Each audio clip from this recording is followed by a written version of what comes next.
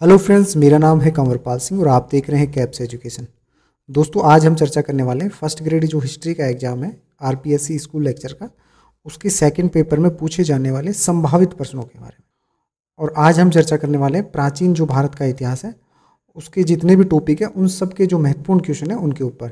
पाषाण काल से लेकर और गुप्तोत्तर काल तक।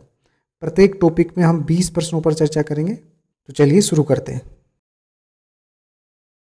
तो आज का हमारा जो पहला क्वेश्चन है, वह है कोपेन हेगन संग्रहालय की सामग्री से पाषाण कांस्य और लोह युग का जो त्रियुगी विभाजन है, वह किसने किया था? तो देखिए, जो कोपेन हेगन संग्रहालय है, ये डेनमार्क में है। कोपेन हेगन संग्रहालय डेनमार्क में स्थित है और इस संग्रहालय की सामग्री की सहायता से त्रियुगी जो विभाजन किया था, एक पुरातत्वविद थे थॉम्सन पुरातत्वविद थॉम्सन के द्वारा किया गया था। तो इस क्वेश्चन का जो राइट आंसर होगा, वह ऑप्शन ए है, अर्थात थॉम्सन में। नेक्स्ट क्वेश्चन है, उत्खनित प्रमाणों के अनुसार पशुपालन का प्रारंभ कब हुआ था?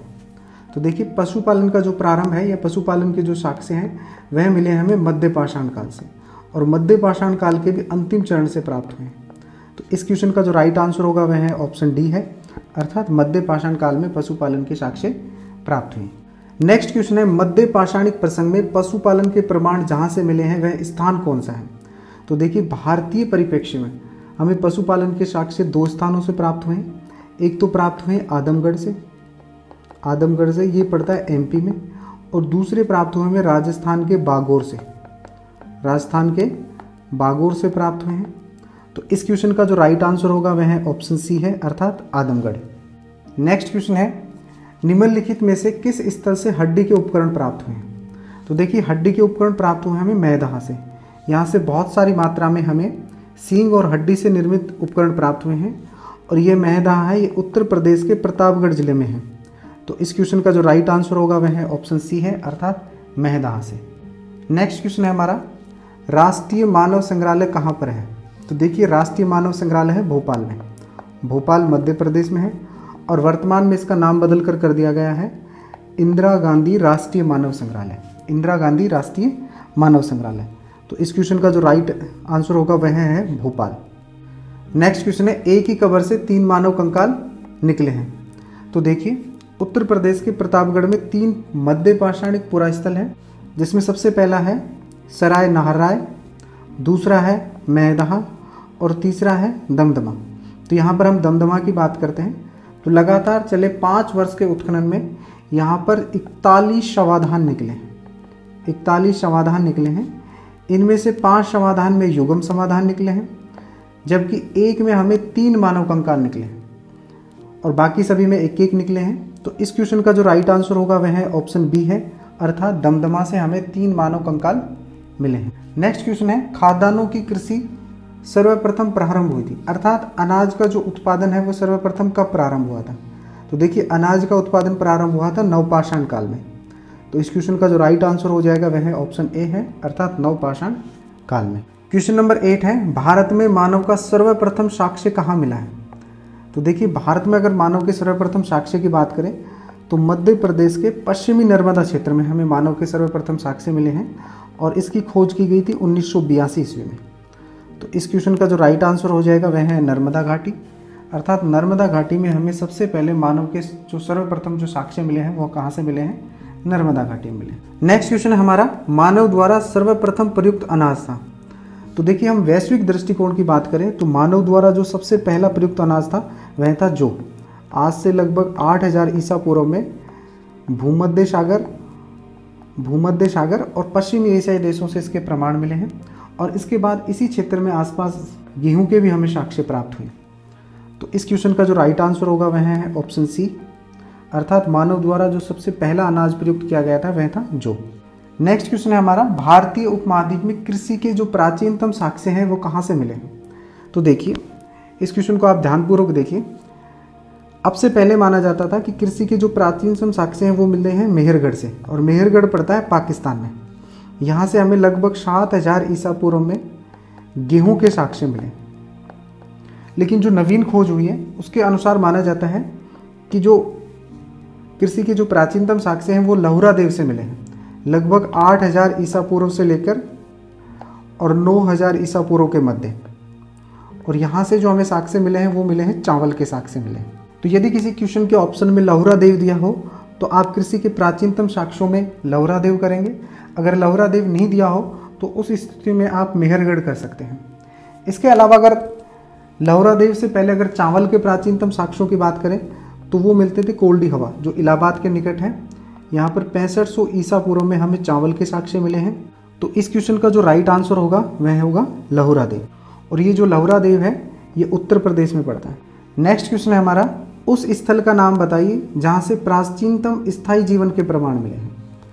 तो देखिए, प्राचीनतम जो स्थायी जीवन के प्रमाण मिले हैं, वो लगभग मिले हैं सात हज़ार ईसा पूर्व में। और वह स्थान है मेहरगढ़। और मेहरगढ़ वर्तमान में पाकिस्तान के बलूचिस्तान ज़िले में स्थित है। तो इस क्वेश्चन का जो राइट आंसर होगा, वह ऑप्शन डी है, अर्थात मेहरगढ़। नेक्स्ट क्वेश्चन है, निम्नलिखित में से किसको चालकोलिथिक युग कहा जाता था? देखिए, चालकोलिथिक युग कहा जाता था ताम्र पाषाण युग को। तो इस क्वेश्चन का जो राइट आंसर हो जाएगा, वह ऑप्शन सी है, अर्थात ताम्र पाषाण युग। निम्नलिखित में से किस एक पुरा स्थल से पाषाण संस्कृति से लेकर हड़प्पा सभ्यता तक के सांस्कृतिक अवशेष प्राप्त हुए हैं? तो देखिए वह एकमात्र स्थान है मेहरगढ़, जहाँ से हमें पाषाण संस्कृति से लेकर और हड़प्पा सभ्यता तक के सांस्कृतिक अवशेष प्राप्त हुए हैं। तो इस क्वेश्चन का जो राइट आंसर हो जाएगा वह होगा मेहरगढ़। नेक्स्ट क्वेश्चन है, नवदा टोली का उत्खनन किसने किया था? तो देखिए, नवदा टोली है, ये वैसे मध्य प्रदेश में है। और जो इसका उत्खनन कार्य किया था, वह किया था एच डी सांकलिया ने। एच डी सांकलिया, पूना के दक्कन कॉलेज के प्रोफेसर हैं। तो इस क्वेश्चन का जो राइट आंसर होगा वह है ऑप्शन सी अर्थात H D Sankalia next question है, वृत्त पाषाण स्मारकों की पहचान की गई है। तो देखिए, दक्षिण भारत में जो नवीन पाषाणकालीन बस्तियाँ मिली हैं, वहाँ पर शवों को दफनाने की बहुत सारी समाधियों के जो अलग अलग परंपराएँ और तरीके थे।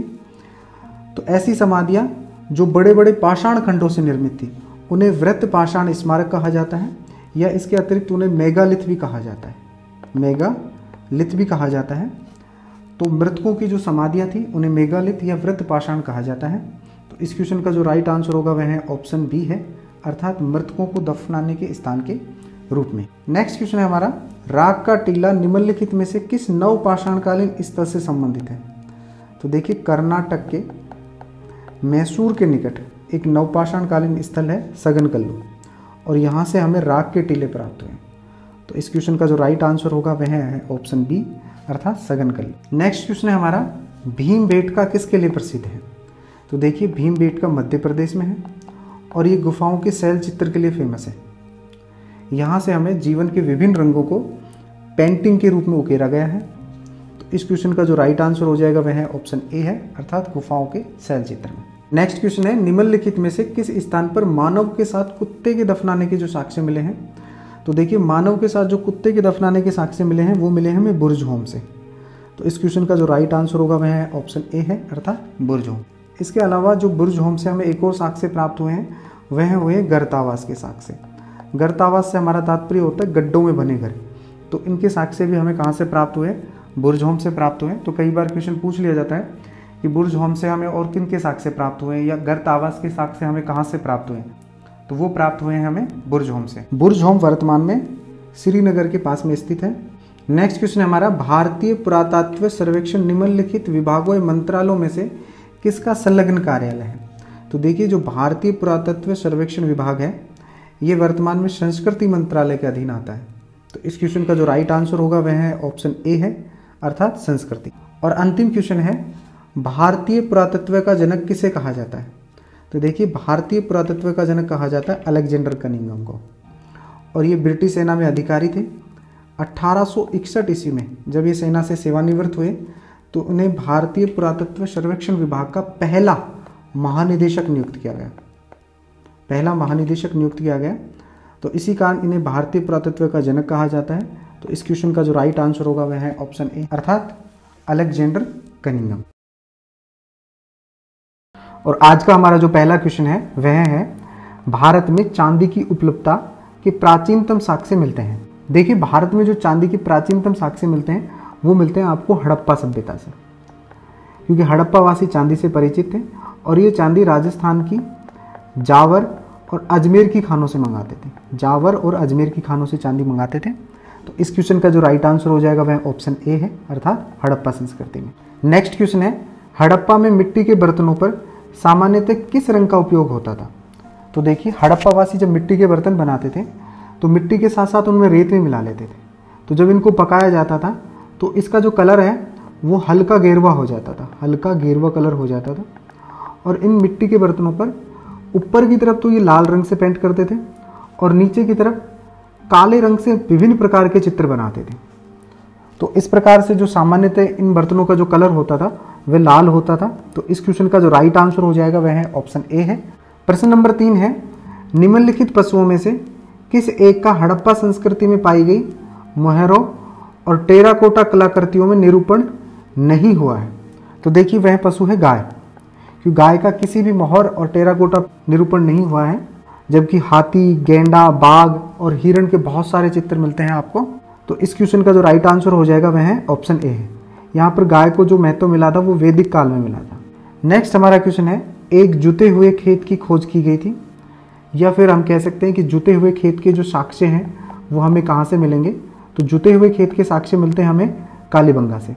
और कालीबंगा है, ये राजस्थान में है। राजस्थान के हनुमानगढ़ ज़िले में। राजस्थान के हनुमानगढ़ ज़िले में घग्गर नदी के किनारे अवस्थित है। तो इस क्वेश्चन का जो राइट आंसर हो जाएगा, वह है ऑप्शन बी अर्थात कालीबंगा में। क्वेश्चन नंबर फाइव है, महान स्नानागार कहाँ से प्राप्त हुआ है? अर्थात सैंधव सभ्यता में जो महान स्नानागार है, वो कहाँ से प्राप्त हुआ है? तो देखिए, जो सैंधव सभ्यता में जो महान स्नानागार प्राप्त हुआ है, वो प्राप्त हुआ है मोहन जोदड़ो से। मोहन जोदड़ो वर्तमान में पाकिस्तान के लरकाना ज़िले में है, पाकिस्तान के सिंध प्रांत के लरकाना ज़िले में है मोहन जुदाड़ो का 1922 ईस्वी में राखल दास बनर्जी के नेतृत्व में इसका उत्खनन कार्य हुआ था। और यहाँ पर हमें एक महान स्नानागार मिला है। और यदि इस स्नानागार की हम बात करें तो लगभग इसकी जो लंबाई है वो 55 मीटर है, उत्तर से दक्षिण, और पूर्व से पश्चिम इसकी चौड़ाई है लगभग 33 मीटर। तो इस क्वेश्चन का जो राइट आंसर हो जाएगा वह ऑप्शन ए है, अर्थात मोहन जोदड़ो नेक्स्ट हमारा क्वेश्चन है, सिंधु सभ्यता के बारे में निम्न में से कौन सा कथन असत्य है? तो यहाँ पर हमें असत्य कथन को पहचानना है। तो देखिए, सबसे पहला कथन है, नगरों में नालियों की सुदृढ़ व्यवस्था थी। ये बिल्कुल सही है। सिंधु सभ्यता विश्व में पहली ऐसी सभ्यता थी जहाँ पर नालियों की व्यवस्था थी। दूसरा है, व्यापार और वाणिज्य उन्नत अवस्था में था। बिल्कुल सही है, एक नगरीकृत सभ्यता थी। और यहाँ पर जो व्यापार और वाणिज्य है, ये काफ़ी उन्नत अवस्था में था। तीसरा है, मातृदेवी की उपासना की जाती थी। हड़प्पा सभ्यता में मिली मोहरों से और मरण मूर्तियों में। मातृदेवी की उपासना के साक्ष्य मिलते हैं तो ये कथन भी बिल्कुल सत्य है। और अंतिम जो कथन है वह है कि लोग लोहे से परिचित थे। ये कथन बिल्कुल गलत है, क्योंकि जो सिंधु सभ्यता के लोग थे वो लोहे से परिचित नहीं थे। सिंधु सभ्यता एक काश्य युगीन सभ्यता थी। काश्य युगीन सभ्यता थी तो यहाँ के लोग थे जो लोहे से परिचित नहीं थे। लोहा मुख्यतः वैदिक काल में आया था। वैदिक काल में लोग लोहे से परिचित हुए थे। तो इस क्वेश्चन का जो राइट आंसर हो जाएगा वह ऑप्शन डी है। अर्थात जो असत्य कथन है, वह है डी क्वेश्चन नंबर सेवन है, निम्नलिखित में से कौन सा एक हड़प्पा का बंदरगाह है? तो देखिए, हड़प्पा का जो प्रमुख बंदरगाह है, वह है लोथल। लोथल गुजरात में है। गुजरात के अंदर भूगवा नदी के किनारे पर अवस्थित है। कई बार यह भी पूछ लिया जाता है कि गोदीवाड़ा के साक्ष्य कहाँ से मिले? तो एक ही बात है, गोदीवाड़ा पूछे चाहे से बंदरगाह पूछे, दोनों का आंसर क्या होगा? लोथल होगा। आठवां क्वेश्चन है, निम्न में से किस हड़प्पाकालीन स्थल से हल्का टेराकोटा प्राप्त हुआ है? तो देखिए, हल्का टेराकोटा प्राप्त हुआ है हमें बनवाली से, और बनवाली पड़ता है हरियाणा में। तो इस क्वेश्चन का जो राइट आंसर होगा, वह ऑप्शन बी है, अर्थात बनावली। क्वेश्चन नंबर नाइन है, भारत में हड़प्पा का वृद्ध स्थल है।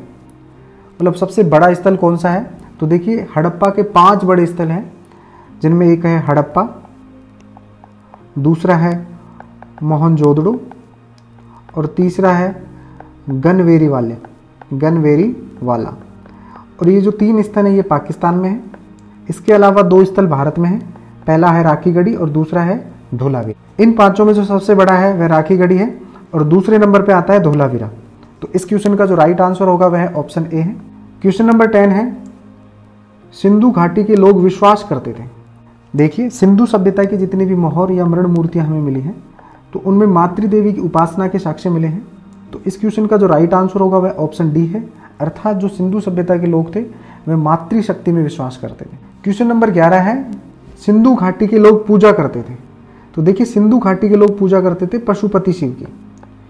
क्योंकि इसके जो प्रमाण मिले हैं, वो मिले हैं हमें मोहनजोदड़ो से एक मोहर मिली है और उस मोहर पर एक योगी का चित्र अंकित है। तो इससे ये स्पष्ट हो जाता है कि जो सिंधु घाटी सभ्यता के लोग थे, वो पशुपति शिव की पूजा करते थे। तो इस क्वेश्चन का जो राइट आंसर होगा वह है ऑप्शन ए क्वेश्चन नंबर बारह है, सिंधु सभ्यता की विकसित अवस्था में निम्नलिखित में से किस स्थल से घरों में कुओं के अवशेष मिले? तो देखिए, पाकिस्तान में स्थित मोहनजोदड़ो से हमें लगभग प्रत्येक घर से स्नानागार, एक तो स्नानागार और दूसरा कुएँ, दोनों के साक्ष्य मिले। तो इस क्वेश्चन का जो राइट आंसर हो जाएगा वह है ऑप्शन डी अर्थात मोहनजोदड़ो। क्वेश्चन नंबर तेरह है, कौन सा हड़प्पीय नगर तीन भागों में विभक्त था?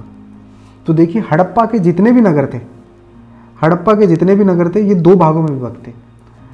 तो जो पश्चिमी भाग होता था, वह ऊपर की तरफ़ होता था और इसे कहा जाता था नगर दुर्ग इसे कहा जाता था नगर दुर्ग और इसमें क्या होता था? शासक वर्ग रहते थे। और जो पूर्वी भाग था इसलिए निचला नगर कहते थे इसे। पूर्वी भाग को निचला नगर कहते थे और इसमें सामान्य लोग रहते थे। लेकिन हड़प्पा सभ्यता में एक ऐसा नगर है जो दो भागों में न बटकर तीन भागों में बटा हुआ था, और वह था धोलावीरा। ये तीन भागों में बटा हुआ था। एक भाग इसका दुर्ग होता था, दूसरा मध्य नगर और तीसरा निचला नगर। ये आयताकार अवस्था में था। तो इस क्वेश्चन का जो राइट आंसर हो जाएगा वह है ऑप्शन सी धोलावीरा। और धोलावीरा है ये वर्तमान में गुजरात में पड़ता है। क्वेश्चन नंबर फोर्टीन है, निम्नलिखित में से किस स्थल से दिवी शव संस्कार का प्रमाण मिला है? दिवी शव संस्कार या युगम समाधियाँ? युगम समाधियों के प्रमाण कहाँ से मिले हैं? तो देखिए, वो दो जगह से मिले हैं। एक तो मिले हैं हमें लोथल से। लोथल में तीन युगम समाधियाँ मिली और दूसरे मिला है हमें कालीबंगा से। कालीबंगा से हमें एक युगम समाधि मिली है। कालीबंगा राजस्थान में है और जो लोथल है ये गुजरात में। तो इस क्वेश्चन का जो राइट आंसर हो जाएगा वह ऑप्शन सी है, अर्थात लोथल।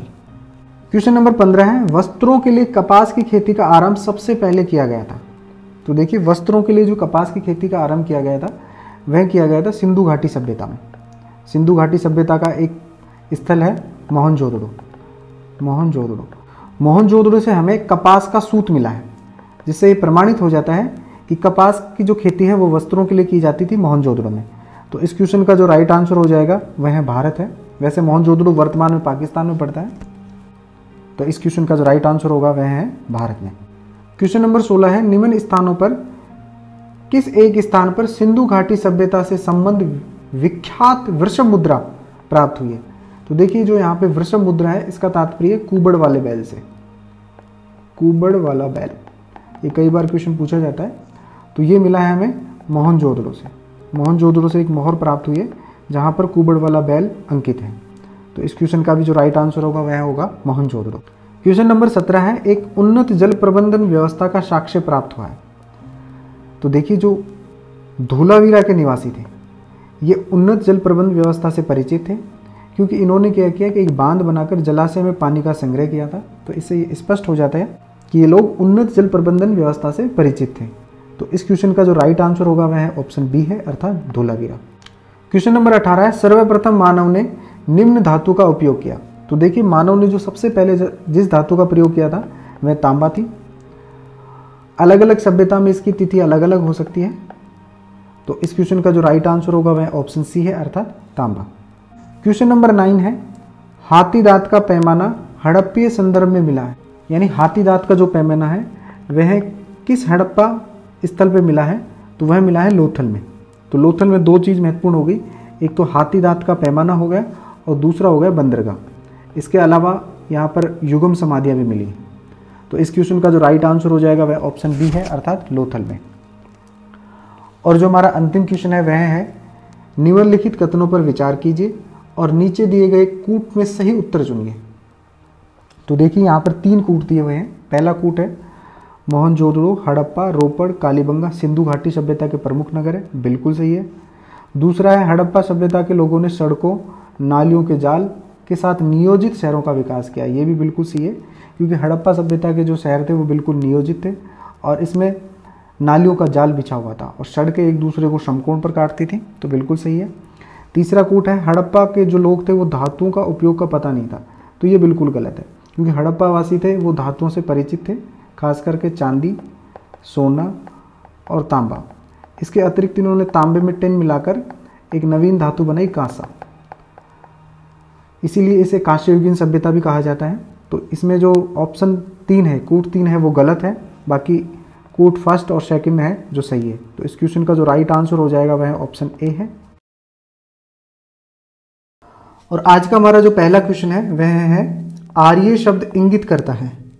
तो देखिए, आर्य शब्द है, ये संस्कृत भाषा का शब्द है, और जिसका अर्थ होता है श्रेष्ठ या कुलीन। तो यहाँ पर जो इस क्वेश्चन का जो राइट आंसर होगा, वह है ऑप्शन डी अर्थात श्रेष्ठ वंश का। नेक्स्ट क्वेश्चन है, सबसे पुराना वेद कौन सा है? तो देखिए, वैदिक साहित्य में चार वेद हैं, ऋग्वेद, यजुर्वेद सामवेद और अथर्वेद तो जिसमें जो ऋग्वेद है, ये सबसे प्राचीन वेद है सबसे प्राचीन वेद ऋग्वेद है, जिसमें दस मंडल हैं और एक हज़ार अट्ठाईस सूक्त हैं। जबकि जो अथर्वेद है, ये सबसे बाद का वेद है, सबसे बाद का वेद है। तो इस क्वेश्चन का जो राइट आंसर होगा, वह है ऑप्शन बी, अर्थात ऋग्वेद। क्वेश्चन नंबर तीन है, त्रयी या वेद त्रयी नाम है। तो देखिए, एक तो ऋग्वेद, यजुर्वेद और सामवेद इन तीनों को सम्मिलित रूप से त्रयी या वेद त्रयी के नाम से जाना जाता है। तो इस क्वेश्चन का जो राइट आंसर होगा, वह है ऑप्शन ए अर्थात तीनों वेदों का। क्वेश्चन नंबर चार है, किस वैदिक ग्रंथ में वर्ण शब्द का सर्वप्रथम उल्लेख मिलता है? तो देखिए, यहाँ पर जो वर्ण शब्द है, इसका अर्थ होता है रंग। कई बार इसका अर्थ व्यवसाय से भी लिया जाता है। तो यहाँ पर जो आर्य थे, उनके लिए तो गौर वर्ण का प्रयोग किया जाता था। और जो दास होते थे, उनके लिए कृष्ण वर्ण का प्रयोग किया जाता था। और इस वर्ण शब्द का जो प्रयोग है, यह किया गया है दसवें मंडल में। दसवें मंडल के भी पुरुष सूक्त में इसका वर्णन किया गया है। पुरुष सूक्त में हमें बताया गया है कि चार प्रकार के वर्ण होते थे, ब्राह्मण, क्षत्रिय, वैश्य और शूद्र। यहाँ पर जो शूद्र शब्द है, इसका सबसे पहला प्रयोग पुरुष सूक्त में ही किया गया है। तो इस क्वेश्चन का जो राइट आंसर होगा, वह है ऋग्वेद। ऋग्वेद में वर्ण शब्द का सबसे पहले प्रयोग किया गया था। ऋग्वेद के भी दसवें मंडल के पुरुष सूक्त में।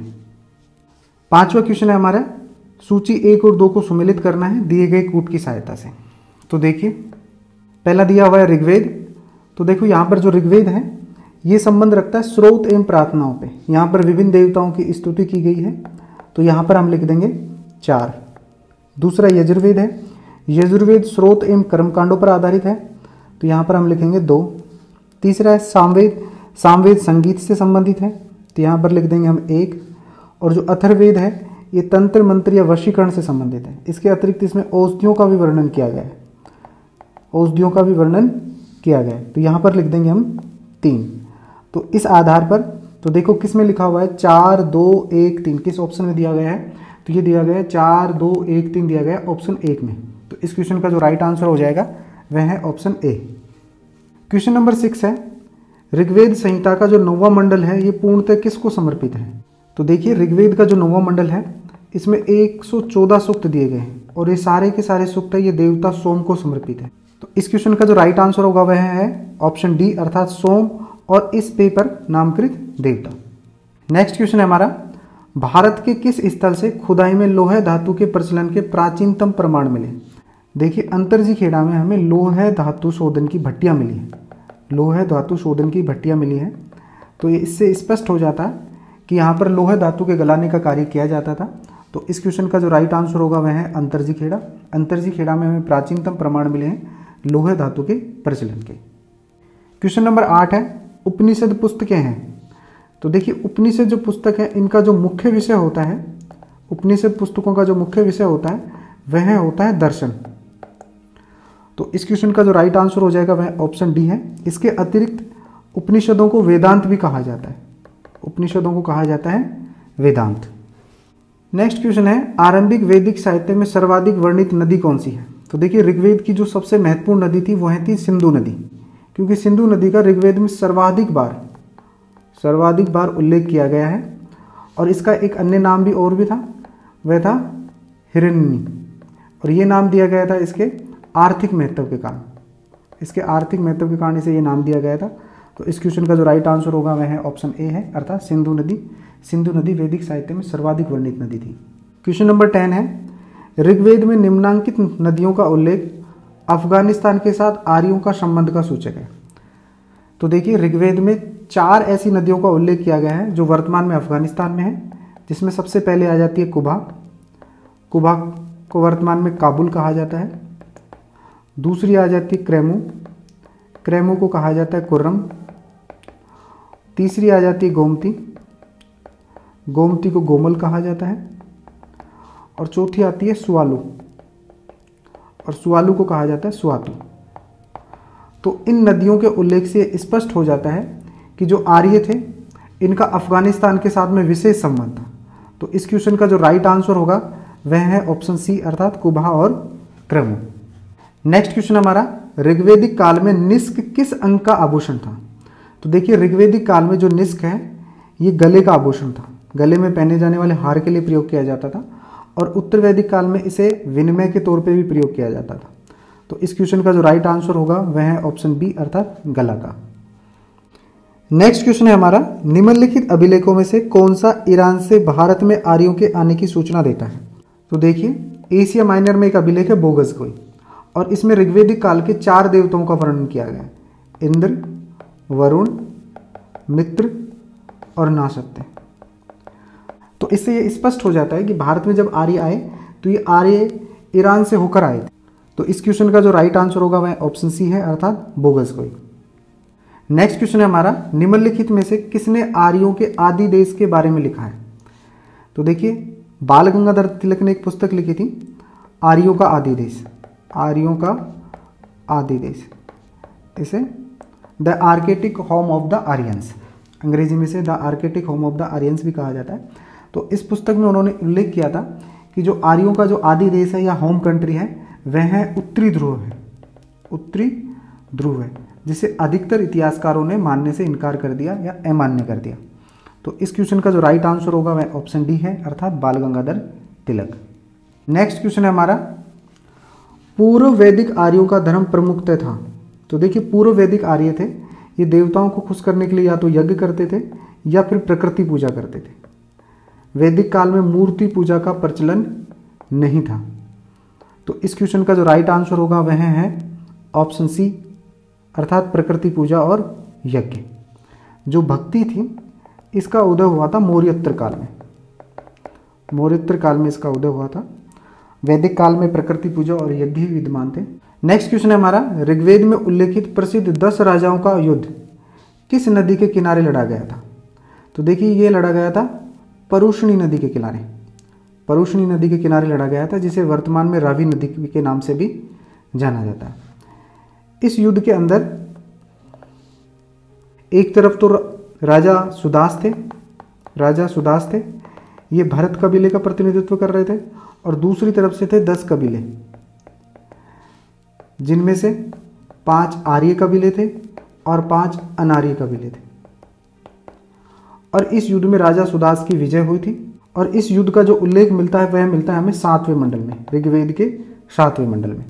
तो इस क्वेश्चन का जो राइट आंसर होगा, वह ऑप्शन ए है, अर्थात परुषणी नदी, या जिसे वर्तमान में रावी नदी के नाम से भी जाना जाता है। नेक्स्ट क्वेश्चन है हमारा, सभा और समिति को प्रजापति की दो पुत्रियाँ कहा गया है। तो देखिए, सभा और समिति को प्रजापति की दो पुत्रियाँ कहा गया है अथर्वेद में। इसके अतिरिक्त मैं आपको बता दूँ कि सभा का उल्लेख ऋग्वेद में आठ बार किया गया है जबकि समिति का उल्लेख किया गया है, नौ बार। सभा थी, ये श्रेष्ठ लोगों का प्रतिनिधित्व करती थी, श्रेष्ठ या कुलीन लोगों का प्रतिनिधित्व करती थी, और समिति करती थी सामान्य लोगों का प्रतिनिधित्व। तो इस क्वेश्चन का जो राइट आंसर होगा वह ऑप्शन डी है, अर्थात अथर्वेद में सभा और समिति को प्रजापति की दो पुत्रियाँ कहा गया है। नेक्स्ट क्वेश्चन है हमारा। निम्नलिखित में से पूर्व वैदिक आर्यों का सर्वाधिक लोकप्रिय देवता कौन सा था? तो देखिए, पूर्व वैदिक आर्यों का जो सर्वाधिक लोकप्रिय देवता था, वह था इंद्र, क्योंकि ऋग्वेद में इसका 250 बार उल्लेख किया गया अर्थात 200 जो 50 सूक्त है, वो इंद्र को समर्पित है। दूसरा जो लोकप्रिय देवता था, वह था अग्नि। अग्नि का उल्लेख किया गया है 200 बार। इस क्वेश्चन का जो राइट आंसर होगा वह ऑप्शन डी है, अर्थात इंद्र। नेक्स्ट क्वेश्चन है हमारा, गायत्री मंत्र किस पुस्तक में मिला है? तो देखिए, गायत्री मंत्र का उल्लेख किया गया है ऋग्वेद के तीसरे मंडल में। और इसके जो रचयिता थे, वह थे विश्वामित्र। इसके रचयिता विश्वामित्र थे और ये देवता सविता को समर्पित है। सविता का मतलब होता है सूर्य देवता। तो इस क्वेश्चन का जो राइट आंसर होगा वह है ऑप्शन सी है, अर्थात ऋग्वेद। नेक्स्ट क्वेश्चन है हमारा, पुराणों की संख्या कितनी है? तो देखिए, पुराणों की जो संख्या है वह अठारह है और पुराण है, इनकी रचना गुप्त काल में हुई थी। और इनके रचयिता थे लोमहर्ष ऋषि और उनके पुत्र उग्र सर्वा और जो सबसे प्राचीन पुराण है, वह है मत्स्य पुराण है। इसमें सातवान वंश का उल्लेख किया गया है। तो इस क्वेश्चन का जो राइट आंसर हो जाएगा वह ऑप्शन बी है, अर्थात अट्ठारह पुराणों की संख्या अट्ठारह है। अंतिम क्वेश्चन हमारा, जीविका उपार्जन हेतु वेद वेदांग पढ़ाने वाला अध्यापक कहलाता था। देखिए, वैदिक काल में मुख्यतः दो प्रकार के अध्यापक हुआ करते थे। एक को हम आचार्य के नाम से जानते हैं और दूसरे थे उपाध्याय। और ये जो आचार्य थे, ये गुरुकुल में पढ़ाते थे और बदले में कोई फ़ीस नहीं लेते थे। अगर कोई स्टूडेंट इनको दक्षिणा देता था तो उसे ये स्वीकार कर लेते थे। जबकि जो उपाध्याय थे, ये पढ़ाने के बदले में फ़ीस लेते थे। अर्थात ये वेद और वेदांग जीविका उपार्जन के लिए पढ़ाते थे। तो इस क्वेश्चन का जो राइट आंसर होगा, वह ऑप्शन सी है, अर्थात उपाध्याय। आज का जो हमारा पहला क्वेश्चन है, वह है, भारत के प्राचीनतम प्राप्त सिक्के। अर्थात जो भारत के जो प्राचीनतम सिक्के हैं, वो किस धातु के बने हैं? तो देखिए, भारत के प्राचीनतम सिक्कों को हम आहत सिक्के या फिर हम पंचमार्क सिक्के के नाम से भी जानते हैं। और ये बने होते थे चांदी के। तो इस क्वेश्चन का जो राइट आंसर हो जाएगा वह है ऑप्शन डी, अर्थात चांदी के थे। क्वेश्चन नंबर दो है, पाटलिपुत्र के संस्थापक थे। तो देखिए, पाटलिपुत्र के संस्थापक थे उदयन। ये अजात शत्रु के उत्तराधिकारी थे। इन्होंने गंगा और सोन नदी के संगम पर एक किला बनाकर पाटलिपुत्र की स्थापना की। और इससे पूर्व जो मगध की राजधानी थी वह राजगृह थी। पाटलिपुत्र के निर्माण के पश्चात उदयन ने मगध की राजधानी को राजगृह से पाटलिपुत्र में स्थानांतरित कर दिया था और इसके बाद में जो मगध की राजधानी थी, वो पाटलिपुत्र रही। तो इस क्वेश्चन का जो राइट आंसर होगा, वह ऑप्शन ए है, अर्थात उदयन।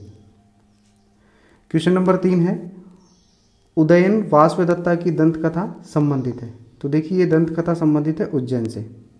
देखिए, महाकवि भास ने एक नाटक लिखा था, श्वेपन वासवदत्तम। श्वेपन वासवदत्तम। और इस नाटक में उन्होंने वत्स नरेश उदयन और जो अवंती की राजकुमारी थी वासवदत्ता, उन दोनों की प्रेम कहानी का वर्णन किया था। और उस समय जो उदयन थे, ये उज्जैन के कारागार में कैद थे। एक चीज़ और भी बता देता हूँ मैं आपको। ये जो उदयन है, ये वत्स नरेश है। और इससे जो पहले वाले क्वेश्चन हमने डिस्कस किया था वह उदय इनका किया था? और ये मगध सम्राट थे, जिन्होंने पाटलिपुत्र की स्थापना की थी। ये दोनों ही भिन्न भिन्न हैं। तो इस क्वेश्चन का जो राइट आंसर होगा, वह ऑप्शन ए है, अर्थात उज्जैन से। क्वेश्चन नंबर चार है, प्रथम मगध साम्राज्य का उत्कर्ष किस शताब्दी में हुआ था? तो देखिए, प्रथम मगध साम्राज्य का उत्कर्ष हुआ था छठी शताब्दी ईसा पूर्व में। और इसके जो वास्तविक संस्थापक थे, वह थे बिम्बिसार बिम्बिसार ये हरियक वंश के थे और इन्होंने पाँच सौ चौवालीस ईसा पूर्व से लेकर और चार सौ बानवे ईसा पूर्व तक शासन किया था। तो इस क्वेश्चन का जो राइट आंसर होगा वह है ऑप्शन बी अर्थात ईसा पूर्व छठवीं शताब्दी। नेक्स्ट क्वेश्चन है हमारा, विश्व का पहला गणतंत्र वैशाली किसके द्वारा स्थापित किया गया? तो देखिए, विश्व का जो पहला गणतंत्र था, ये स्थापित किया गया था लिच्छियों के द्वारा। और ये बुद्ध के काल का, महात्मा बुद्ध के काल का सबसे बड़ा और शक्तिशाली गणराज्य था, शक्तिशाली गणराज्य था। तो इस क्वेश्चन का जो राइट आंसर हो जाएगा वह है ऑप्शन डी है, अर्थात लिच्छवी। नेक्स्ट क्वेश्चन है हमारा, छठी शताब्दी ईसा पूर्व के सोलह महाजनपदों के विषय में निम्नलिखित में से किस बौद्ध ग्रंथ में सूचना मिलती है? तो देखिए, बौद्ध ग्रंथ है अंगुत्तर निकाय। इसमें हमें सोलह महाजनपद सोलह महाजनपदों की क्या मिलती है? सूची मिलती है। इसके अतिरिक्त जो सोलह महाजन पदों की सूची हमें मिलती है, वो मिलती है भगवती सूत्र से। भगवती सूत्र एक जैन ग्रंथ है। तो यहाँ पर दो ग्रंथ हो गए। एक तो भगवती सूत्र हो गया और एक हो गया अंगुत्तर निकाय, जहाँ से हमें सोलह महाजन पदों की सूची मिलती है। लेकिन इन दोनों में जो कुछ नाम हैं जो भिन्न हैं, कुछ नाम यहाँ पर भिन्न हैं। तो इस क्वेश्चन का जो राइट आंसर हो जाएगा वह ऑप्शन डी है, अर्थात अंगुत्तर निकाय। क्वेश्चन नंबर सेवन है, गोदावरी नदी के तट पर स्थित महाजनपद था। तो देखिए, गोदावरी नदी के तट पर स्थित महाजनपद था अश्मक। इसे अश्मक भी कहा जाता था और इसकी जो राजधानी थी वह थी पैठन या पोतन भी कहते थे। और इसका जो प्राचीन नाम था वह था प्रतिष्ठान। तो इस क्वेश्चन का जो राइट आंसर होगा वह हो जाएगा ऑप्शन सी, अर्थात अश्मक। क्वेश्चन नंबर एट है, निम्नलिखित मगध के राजवंशों को कालक्रम अनुसार लिखिए। देखो दिए गए चार वंशों में जो सबसे पहले मगध पर जिसका शासन रहा, वह था हरियक वंश। हरियक वंश ने यहाँ पर पाँच सौ चौवालीस ईसा पूर्व से लेकर 412 ईसा पूर्व तक शासन किया। हरियक वंश के बाद में आ जाता है शिशुनाग वंश और शिशुनाग वंश ने 412 ईसा पूर्व से लेकर 345 ईसा पूर्व तक मगध पर शासन किया। शिशुनाग वंश के बाद में आता है नंद वंश और नंद वंश ने यहाँ पर 345 ईसा पूर्व से लेकर 322 ईसा पूर्व तक मगध पर शासन किया और नंद वंश को समाप्त करके फिर आता है मौर्य वंश। मौर्य वंश ने 322 ईसा पूर्व से लेकर एक सौ चौरासी ईसा पूर्व तक मगध पर शासन किया। तो सबसे पहले आ जाता है हरियक, फिर शिशुनाग शिशुनाग के बाद में नंद आ जाता है, नंद के बाद में आ जाता है मौर्य। एक तो ये दिया गया है ऑप्शन तीन में। तो इस क्वेश्चन का जो राइट आंसर हो जाएगा वह है ऑप्शन सी। नेक्स्ट क्वेश्चन है हमारा, महाभारत के अनुसार उत्तरी पांचाल राजधानी स्थित थी। देखिए, महाभारत के अनुसार जो उत्तरी पांचाल की जो राजधानी थी, वह थी अही छत्र इसके अतिरिक्त जो दक्षिणी पांचाल की जो राजधानी थी, वह थी कामपिल्ले। कामपिल्ले, ये दक्षिणी पांचाल की राजधानी थी। इसके अतिरिक्त जो इंद्रप्रस्थ और हस्तिनापुर है, ये कुरु महाजनपद की राजधानी थी। और यहाँ पर जो मथुरा दिया हुआ है, ये सूरसेन जन, महाजनपद की राजधानी थी। तो इस क्वेश्चन का जो राइट आंसर होगा वह ऑप्शन सी है, अर्थात अही क्षेत्र में। क्वेश्चन नंबर टेन है, चंपा किस महाजनपद की राजधानी थी? तो देखिए, वर्तमान बिहार के भागलपुर और मुंगेर, ये दोनों ज़िले अंग महाजनपद के अंतर्गत आते थे। और जो अंग महाजनपद की जो राजधानी थी, वह थी चंपा। तो इस क्वेश्चन का जो राइट आंसर होगा, वह ऑप्शन डी है, अर्थात अंग। क्वेश्चन नंबर ग्यारह है छठी शताब्दी ईसा पूर्व में शक्तिमती राजधानी थी। तो देखिए, बुंदेलखंड है। बुंदेलखंड। बुंदेलखंड के आसपास का जो क्षेत्र है, ये चेदी महाजनपद के अंतर्गत आता था और इसकी जो राजधानी थी, वह थी शक्तिमती। तो इस क्वेश्चन का जो राइट आंसर हो जाएगा, वह ऑप्शन सी है, अर्थात चेदी की। क्वेश्चन नंबर बारह है, मगध में किस प्रारंभिक शासक ने राज्यरोहण के लिए अपने पिता की हत्या की? एवं स्वयं इसी कारणवश अपने पुत्र के द्वारा मारा गया। तो देखिए, मगध में जो हरियक वंश का संस्थापक था, वह बिंबिसार था और बिंबिसार की जो हत्या उसके बेटे अजात शत्रु ने कर दी थी और इसी कारण अजात शत्रु के पुत्र उदयन ने उसकी हत्या कर दी। तो इस क्वेश्चन का जो राइट आंसर होगा, वह ऑप्शन बी है, अर्थात अजात शत्रु क्वेश्चन नंबर तेरह है, मगध में नंद वंश का संस्थापक कौन था? तो देखिए, मगध में जो नंद वंश की नींव डाली थी, वह डाली थी महापदम नंद ने। और महापदम नंद को सर्व छत्रांतक और अप्रो परशुराम अप्रो परशुराम के नाम से भी जाना जाता है। नंद वंश में जो कुल नौ राजा हुए थे और जो अंतिम शासक थे, वह थे घनानंद। तो इस क्वेश्चन का जो राइट आंसर होगा, वह ऑप्शन ए है, अर्थात महापदम नंद नेक्स्ट क्वेश्चन हमारा। राजा नंद का उल्लेख करने वाला अभिलेखीय प्रमाण है। तो देखिए कलिंग के एक जो सबसे प्रतापी राजा थे, वह थे खारवेल। और जो खारवेल की जो जानकारी है, वो हमें प्राप्त होती है हाथी गुम्फा अभिलेख से। हाथी गुम्फा अभिलेख से। और इसी अभिलेख से हमें पता चलता है कि राजा नंद ने कलिंग में एक नहर का निर्माण करवाया था। तो इस क्वेश्चन का जो राइट आंसर होगा वह है ऑप्शन ए, अर्थात खारवेल का हाथी गुम्फा अभिलेख से हमें राजा नंद का उल्लेख मिलता है। नेक्स्ट क्वेश्चन हमारा नंद वंश के पश्चात मगध पर किस राजवंश ने शासन किया? तो देखिए नंद वंश का जो अंतिम शासक था, वह था घनानंद। घनानंद को पराजित किया चंद्रगुप्त मौर्य ने। चंद्रगुप्त मौर्य ने और एक नवीन वंश की नींव डाली, मौर्य वंश की। तो इस क्वेश्चन का जो राइट आंसर हो जाएगा, वह ऑप्शन ए है, अर्थात मौर्य। गौतम बुद्ध के समय प्रसिद्ध वैद्य जीवक, जिसके दरबार से संबंधित था। तो देखिए, जो प्रसिद्ध वैद्य जीवक है ये संबंधित था बिंबिसार के दरबार से। और बिंबिसार ने इसे अवंती नरेश प्रदोत की चिकित्सा सेवा में भेजा था। तो इस क्वेश्चन का जो राइट आंसर हो जाएगा, वह है ऑप्शन ए है, अर्थात बिंबिसार। क्वेश्चन नंबर सत्रह है, कालपी नगर किस नदी के तट पर स्थित है? तो देखिए, कालपी नगर है, ये यमुना नदी के तट पर स्थित है, और इसका जो प्राचीन नाम था, वह था कालप्रिय। और फिर धीरे धीरे ये संक्षिप्त होकर इसका नाम हो गया कालपी। इसकी स्थापना की थी वसुदेव ने। वसुदेव ने इसकी स्थापना चौथी शताब्दी में की थी। तो इस क्वेश्चन का जो राइट आंसर होगा वह ऑप्शन बी है, अर्थात यमुना। क्वेश्चन नंबर अठारह है, प्राचीन श्रावस्ती का नगर विन्यास किस आकृति का है? तो देखिए, अठारह सौ इकसठ ईस्वी में कनिंगम ने उत्तर प्रदेश के गोंडा को श्रावस्ती के रूप में पहचान किया। और जब इसका उत्खनन कार्य किया गया तो जो इसका नगर विन्यास है, ये अर्धचंद्राकार था। तो इस क्वेश्चन का जो राइट आंसर होगा, वह ऑप्शन बी है, अर्थात अर्धचंद्राकार। नेक्स्ट क्वेश्चन है, इसमें सूची एक और सूची दो को सुमेलित करना है, नीचे दिए गए कूट की सहायता से। तो देखिए, जो प्रथम सूची में है, उसमें प्राचीन जनपद दिए हुए हैं, और सेकेंड सूची में दी हुई है राजधानियाँ। तो ए में दिया हुआ है कुरु तो कुरु की जो राजधानी थी, ये नंबर चार पर दी हुई है, इंद्रप्रस्थ। हम कुरु के सामने चार लिख देंगे। बी में दिया हुआ है पांचाल। पांचाल की जो राजधानी थी वो थी अही छत्र तो यहाँ पे पांचाल के सामने हम तीन लिख देंगे। सी में दिया हुआ है कौशल। और जो कौशल की जो राजधानी थी, यह थी साकेत। तो साकेत एक नंबर पे है। डी में दिया हुआ है वत्स। और जो वत्स की राजधानी थी ये कौसाम्बी थी। कौसाम्बी दो नंबर पे दिया हुआ है। तो देखिए, चार, तीन, एक, दो। तो ये दिया हुआ है ऑप्शन बी में, चार तीन एक दो। तो इस क्वेश्चन का जो राइट आंसर होगा वह बी हो जाएगा। और अंतिम हमारा क्वेश्चन है कि कथन ए और कथन बी को पढ़ें और नीचे दिए कूटों में से सही उत्तर का चयन करें।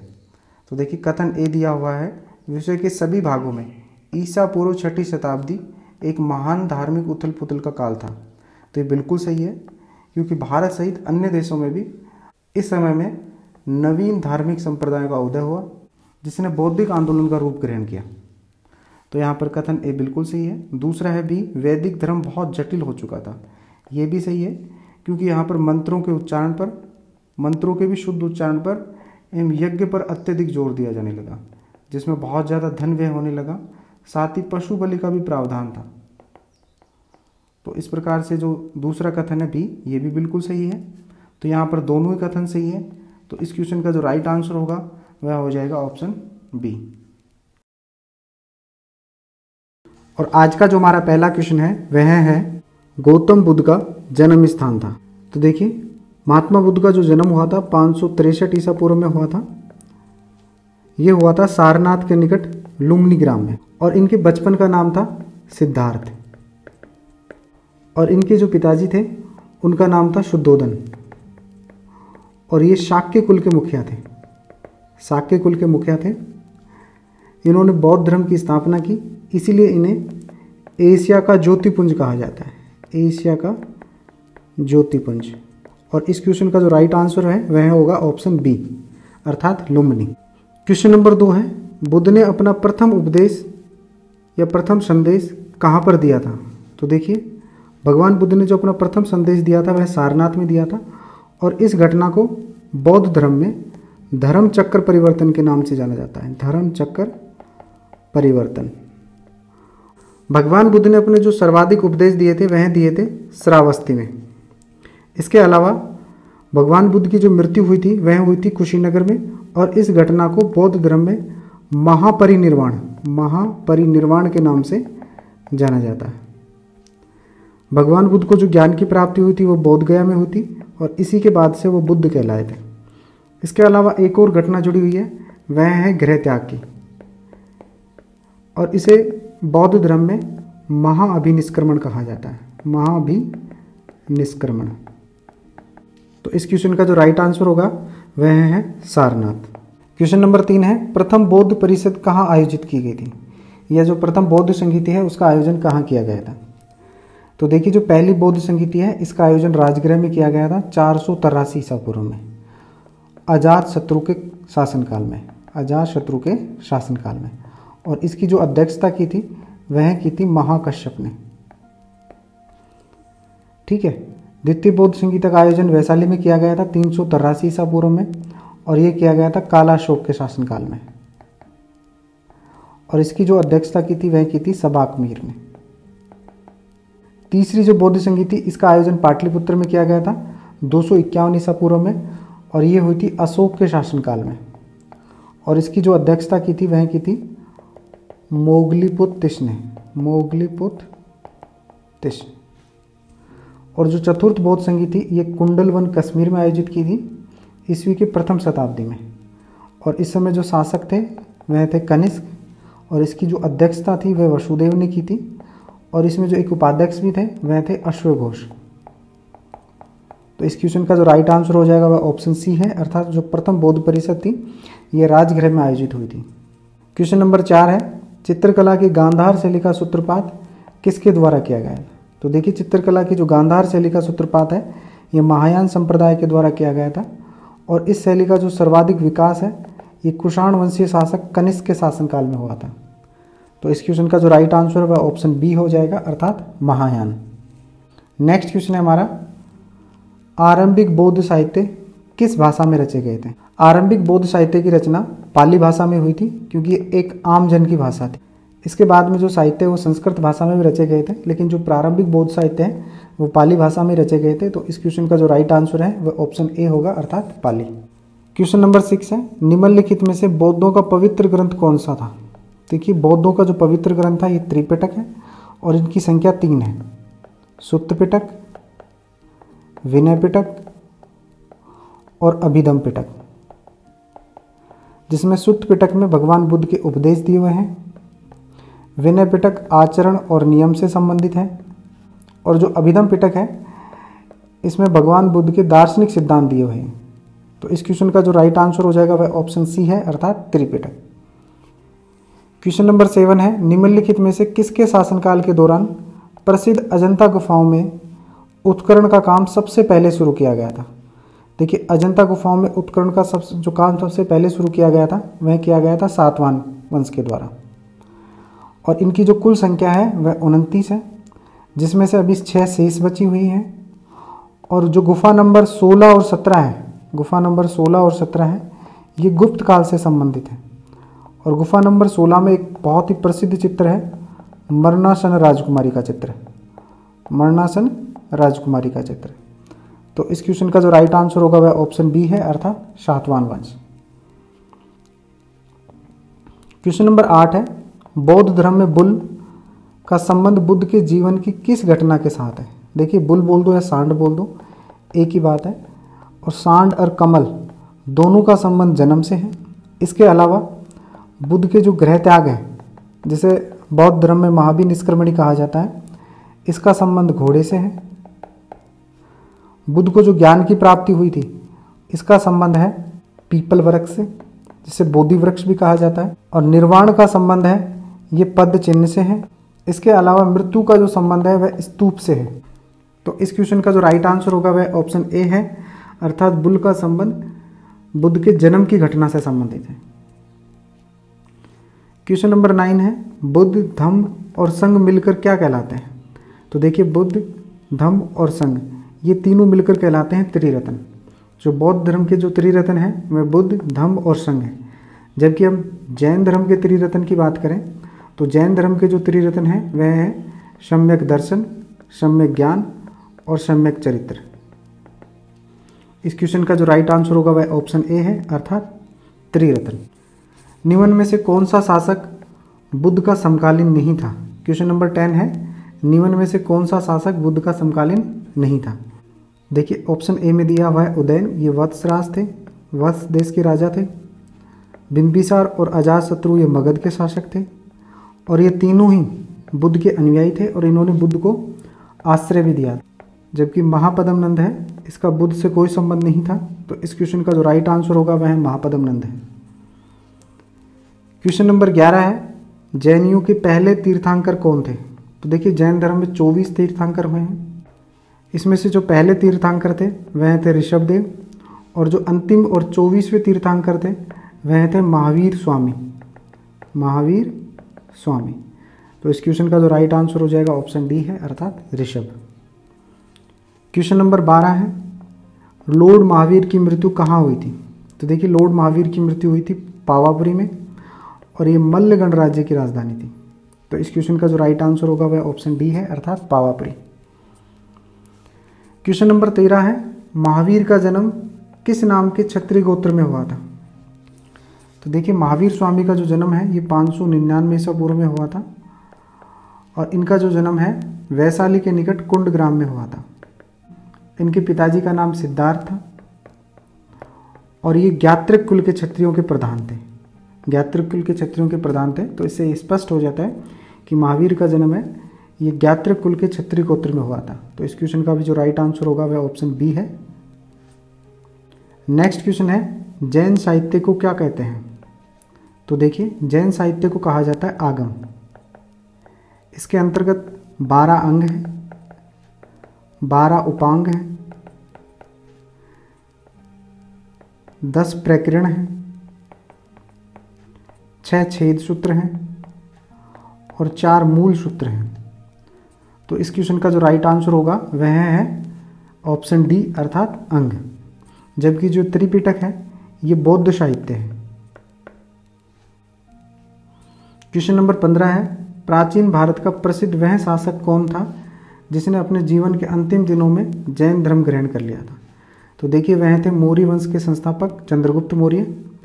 इन्होंने भद्रभाव से भद्रभाव से जैन धर्म की दीक्षा ली और जीवन के अंतिम समय में ये कर्नाटक के श्रवण बेलगुला नामक स्थान पर चले गए और वहीं पर इन्होंने उपवास के द्वारा दो सौ ईसा पूर्व में अपने प्राण त्याग दिए। तो इस क्वेश्चन का जो राइट आंसर होगा वह ऑप्शन सी है, अर्थात चंद्रगुप्त। क्वेश्चन नंबर 16 है, बौद्ध धर्म ने समाज के दो वर्गों को अपने साथ जोड़कर एक महत्वपूर्ण प्रभाव छोड़ा।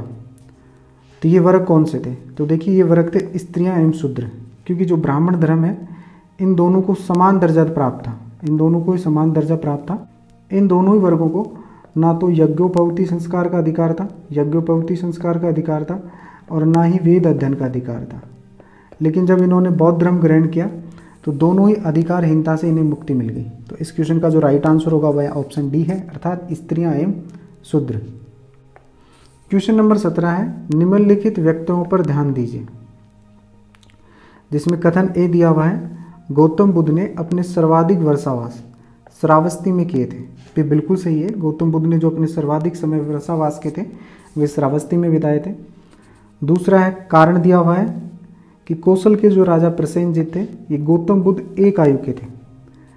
तो ये भी सही है, क्योंकि जो प्रसेनजीत थे, ये महात्मा बुद्ध के अनुयायी थे और ये कौशल के नरेश थे। कौशल की जो राजधानी थी, पहले अवध्या या साकेत थी बाद में इसको बदलकर श्रावस्ती कर दिया गया था, श्रावस्ती। तो यहीं पर भगवान बुद्ध ने सर्वाधिक वर्षावास बिताए थे। लेकिन जो कथन और कारण यहाँ पर दोनों ही सही है, लेकिन जो कारण है, ये कथन की सही व्याख्या नहीं करता। तो इस क्वेश्चन का जो राइट आंसर होगा, वह ऑप्शन बी है। अर्थात ए और आर दोनों सही है, किंतु ए की सही व्याख्या आर नहीं है। तो इस क्वेश्चन का जो राइट आंसर होगा, वह ऑप्शन बी है।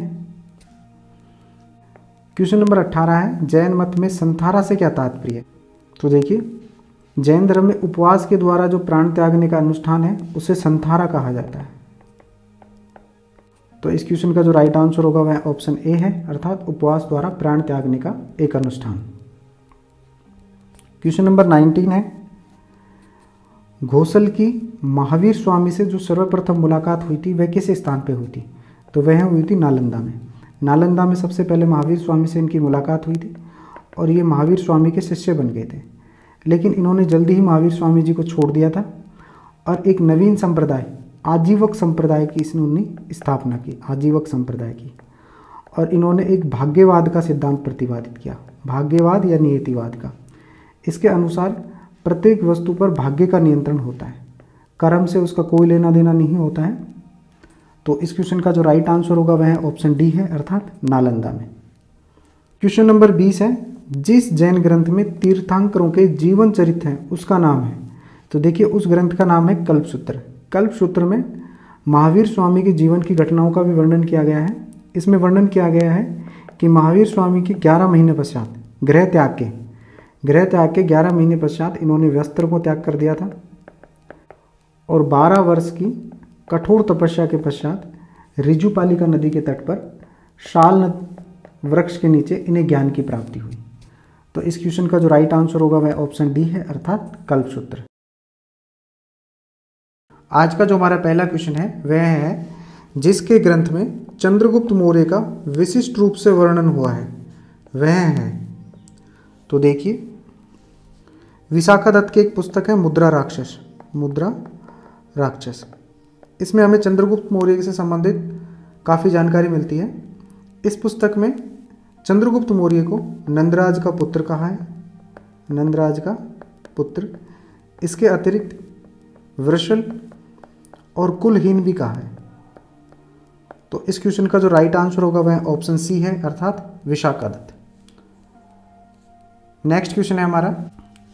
यूनानी लेखक जस्टिन द्वारा किसे सेंड्रोकोट्स कहा है?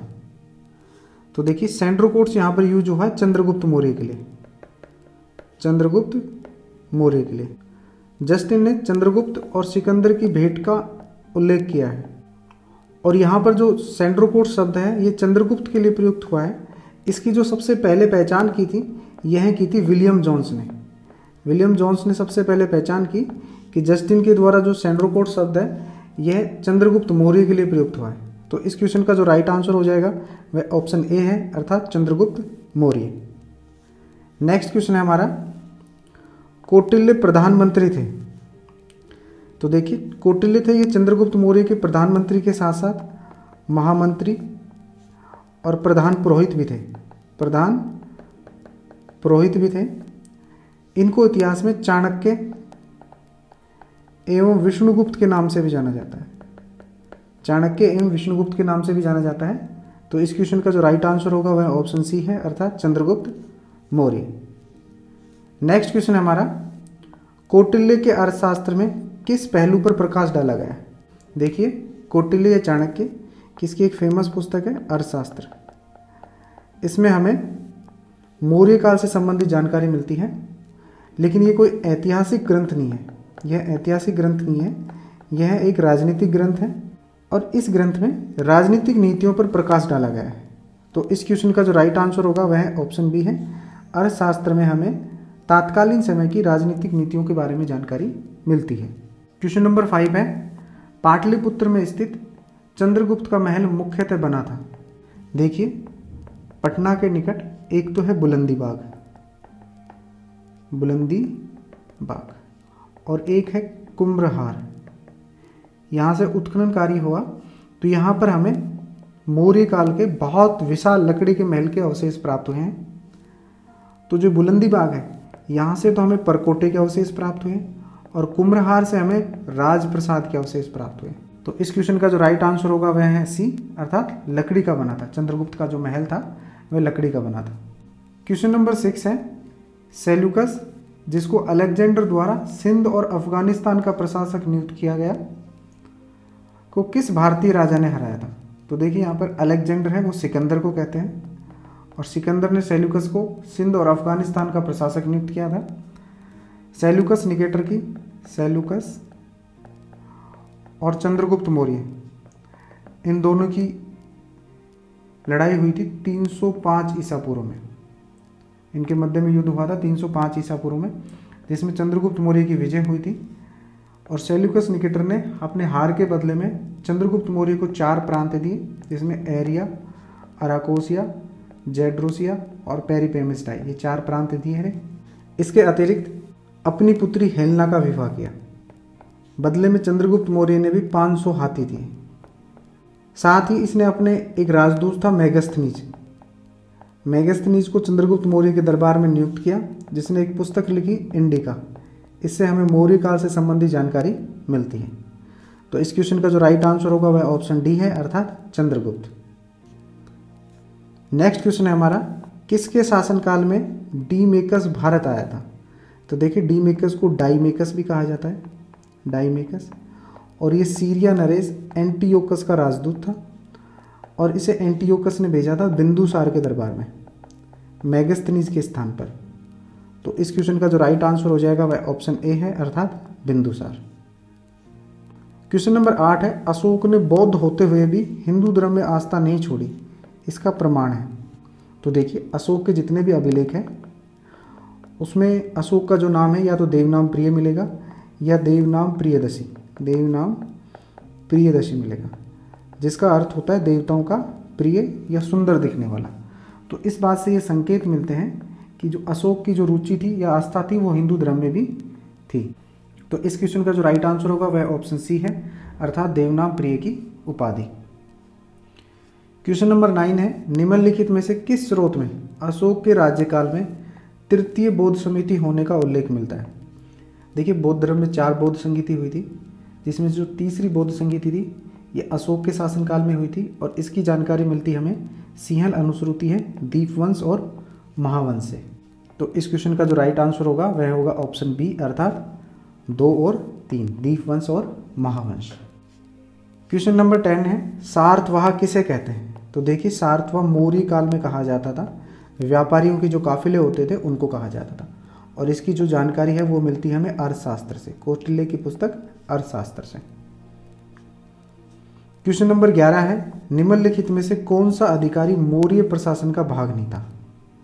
तो देखिए, अशोक का जो तीसरा अभिलेख है, तीसरा जो शिलालेख है, इससे हमें उसके द्वारा नियुक्त अधिकारियों की जानकारी मिलती है, जिसमें जो सबसे पहला है, वह युक्त है ये जिला अधिकारी होता था और इसका जो मुख्य काम था, वह राजस्व वसूल करना होता था। दूसरा प्रादेशिक है, ये मंडल अधिकारी होता था, मंडल का प्रधान होता था। और तीसरा है राजुक।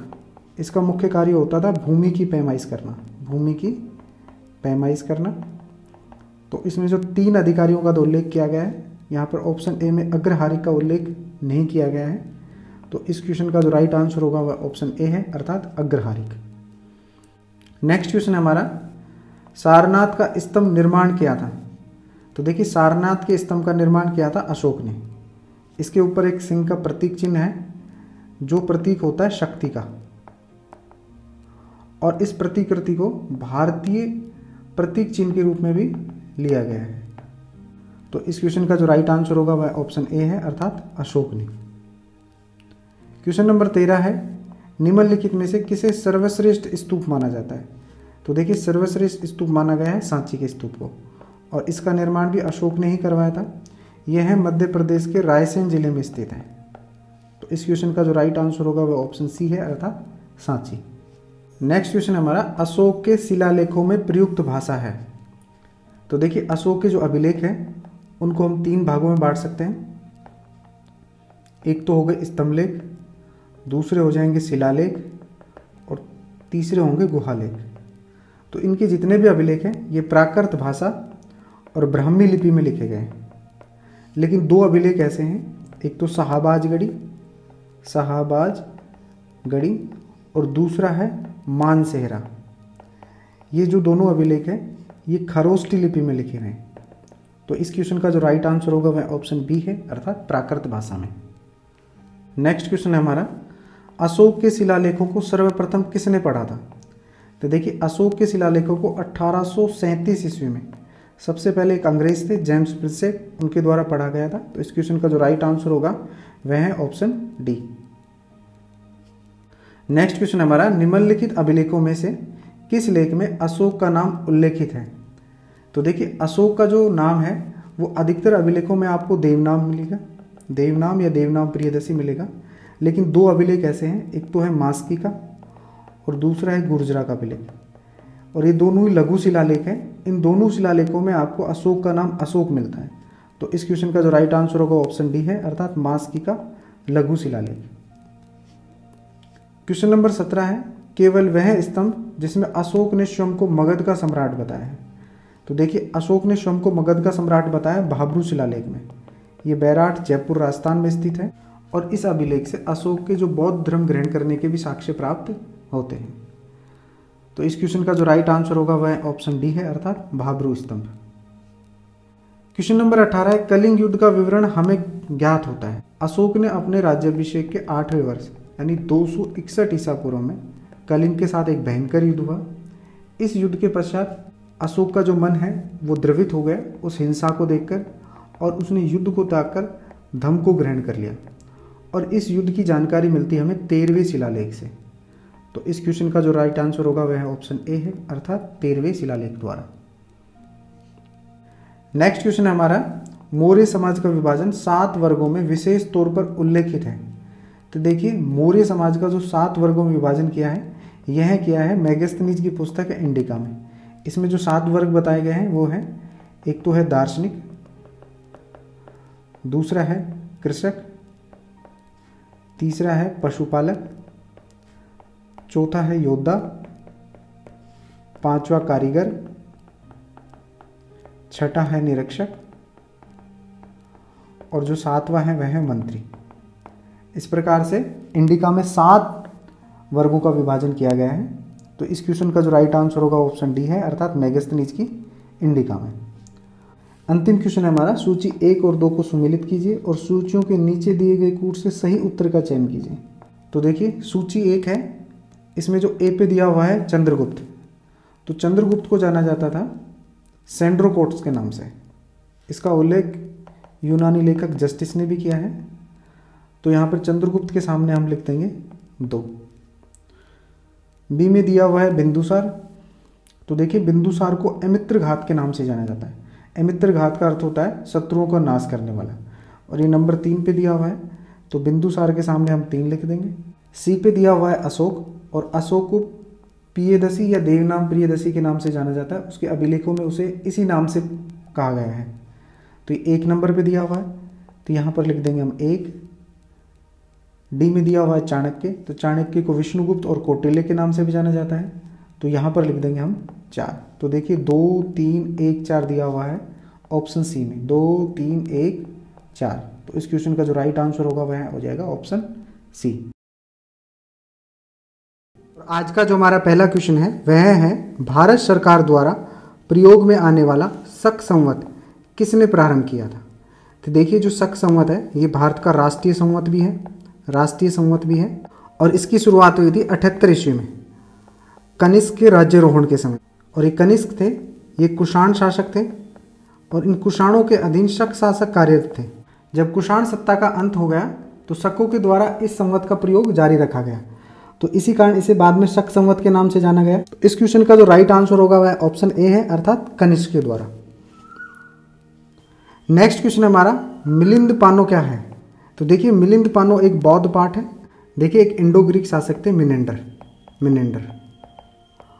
और दूसरे एक बौद्ध भिक्षु थे, नागार्जुन। इन दोनों के बीच में जो संवाद है, उस रचना को मिलिंद पानो के नाम से जाना जाता है। इसमें मिनिंडर के द्वारा क्वेश्चन किया जाता है और नागार्जुन उसका आंसर देते हैं। तो इस क्वेश्चन का जो राइट आंसर होगा वह ऑप्शन डी है, अर्थात बौद्ध पाठ। नेक्स्ट क्वेश्चन है हमारा, निम्नलिखित में से कनिष्क के समकालीन कौन थे? तो देखिए, कनिष्क के समकालीन थे नागार्जुन, अश्वघोष और वसुमित्र। इन तीनों को कनिष्क का संरक्षण प्राप्त था। इसमें जो नागार्जुन है, इन्होंने तो शून्यवाद का प्रतिपादन किया था, शून्यवाद का, नागार्जुन के द्वारा। अश्वघोष थे, ये राजकवि थे। और वसुमित्र ने जो कनिष्क के काल में चतुर्थ बोध संगीति हुई थी, इसकी अध्यक्षता की थी। तो इस क्वेश्चन का जो राइट आंसर होगा, वह ऑप्शन बी है। अर्थात नागार्जुन, अश्वघोष और वसुमित्र। नेक्स्ट क्वेश्चन है हमारा, चरक किसके राज चिकित्सक थे? तो देखिए, चरक थे, ये कनिष्क के राज चिकित्सक थे। और इन्हें चिकित्सा का जनक कहा जाता है। चिकित्सा का जनक कहा जाता है। इन्होंने चिकित्सा शास्त्र पर एक पुस्तक लिखी थी, जिसे चरक संहिता के नाम से जाना जाता है। तो इस क्वेश्चन का जो राइट आंसर होगा, वह ऑप्शन डी है, अर्थात कनिष्क। क्वेश्चन नंबर फाइव है, गांधार कला किस काल में विकसित हुई थी? तो देखिए, गांधार कला विकसित हुई थी कुषाण काल में। और इसकी जो विषय वस्तु थी, ये तो भारतीय थी। गांधार कला की विषय वस्तु भारतीय थी, और इसकी जो कला शैली थी, ये यूनानी थी। इसीलिए इसे हिंद यूनानी कला के नाम से भी जाना जाता है। हिंद यूनानी कला शैली। और इसका जो जन्म हुआ था, ये गांधार नामक स्थान पे हुआ था, इसीलिए इसे गांधार कला के नाम से भी जाना जाता है। तो इस क्वेश्चन का जो राइट आंसर होगा, वह ऑप्शन डी है, अर्थात कुषाण काल में। नेक्स्ट क्वेश्चन हमारा, कुषाण काल में सबसे अधिक विकास किस क्षेत्र में हुआ था? तो देखिए, कुषाण काल में जो सबसे अधिक विकास हुआ था, वो कला के क्षेत्र में हुआ था। इस समय कला की दो शैलियों का जन्म हुआ। एक तो मथुरा शैली, और दूसरी आती है गांधार शैली। तो इस क्वेश्चन का जो राइट आंसर होगा वह है ऑप्शन बी अर्थात कला के क्षेत्र में। क्वेश्चन नंबर सेवन है, कनिष्क की राजधानी थी। देखिए, पाकिस्तान का एक ज़िला है पेशावर। पेशावर। इसे प्राचीन काल में पुरुषपुर के नाम से जाना जाता था। और इसकी जो स्थापना थी, ये कनिष्क के द्वारा की गई थी और इसे अपनी राजधानी भी बनाया। तो इस क्वेश्चन का जो राइट आंसर होगा, वो ऑप्शन ए है, अर्थात पुरुषपुर। क्वेश्चन नंबर एट है, निम्नलिखित साहित्यिक कृतियों का उनके लेखकों के साथ मिलान कीजिए। तो देखिए, ये तो दी हुई है साहित्यिक कृतियाँ, इस तरफ़ दिए हुए हैं लेखक। इन दोनों का मिलान करना है, जिसमें ए में दिया हुआ है कविराज मार्ग। कविराज मार्ग के जो लेखक थे, ये थे अमोघ वर्ष, ये नंबर तीन पे दिया हुआ है तो यहाँ पे हम तीन लिख देंगे। आदि पुराण बी पे दिया हुआ है, इसके रचनाकार थे जिनसेन, ये चार पे दिया हुआ है तो यहाँ पर हम चार लिख देंगे। गणित साराश्म ग्रह इसकी रचना की थी महावीराचार्य ने, ये एक नंबर पे दिया हुआ है तो यहाँ पर हम एक लिख देंगे। अमोघ व्रथी, इसके रचनाकार थे शाक्टायन ये दो नंबर पे दिया हुआ है तो यहाँ पे हम लिख देंगे दो। तो देखिए, तीन, चार, एक, दो, ये दिया हुआ है ऑप्शन डी में, तीन, चार, एक, दो। तो इस क्वेश्चन का जो राइट आंसर हो जाएगा, वह हो जाएगा option D question number nine है सातवानों ने पहले स्थानीय अधिकारियों के रूप में कहाँ पर कार्य किया था? तो देखिए सातवान थे। ये पहले मौर्यों के अधीन अधिकारियों के रूप में कार्यरत थे। बाद में इन्होंने अपने अपने राज्य स्थापित किए।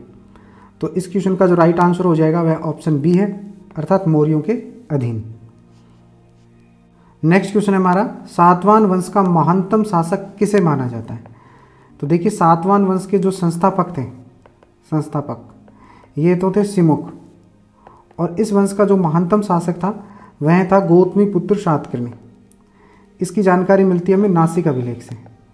नासिक अभिलेख में इसके बारे में लिखा हुआ है, ती समुद्र तोय पितवाहन ती समुद्र तोय पितवाहन इसका अर्थ होता है कि इसके वाहनों ने तीन समुद्र का पानी पिया है। तो यहाँ पर जो वाहन से तात्पर्य है, वह है अश्वश। और इसे पश्चिम का स्वामी भी कहा जाता था। तो इस क्वेश्चन का जो राइट आंसर हो जाएगा, वह ऑप्शन बी है, अर्थात गौतमी पुत्र सातकर्णी। नेक्स्ट क्वेश्चन हमारा, प्राचीन काल में निम्नलिखित में से कौन कलिंग का एक महान शासक था? तो देखिए, कलिंग का जो सबसे महान और प्रतापी शासक हुआ है, वह हुआ है खारवेल। और ये चेदी वंश का था। इसकी जानकारी मिलती है हमें खारवेल के हाथी गुम्फा अभिलेख से। हाथी गुम्फा अभिलेख में। इस अभिलेख से हमें जानकारी मिलती है कि इसमें एक तो मगध नरेश थे, बृहस्पति मित्र बृहस्पति मित्र, और दूसरा सातवान शासक थे सातकर्णी इन दोनों को इसने पराजित किया था। तो इस क्वेश्चन का जो राइट आंसर होगा वह ऑप्शन डी है, अर्थात खारवेल नेक्स्ट क्वेश्चन है हमारा, निम्नलिखित में से विद्या की सबसे पुरानी पीठ कौन सी है? तो देखिए, विद्या की जो सबसे पुरानी पीठ है वह तक्षशिला है। ये मौर्य काल से भी पहले की शिक्षा की पीठ है। जैसे शिक्षा का सबसे महत्वपूर्ण केंद्र था। और नालंदा और उज्जैन है, ये गुप्तकालीन है। और विक्रमशिला की जी स्थापना की थी, यह की थी धर्मपाल ने। धर्मपाल एक पाल शासक था तो यह पालयुगीन हो गया।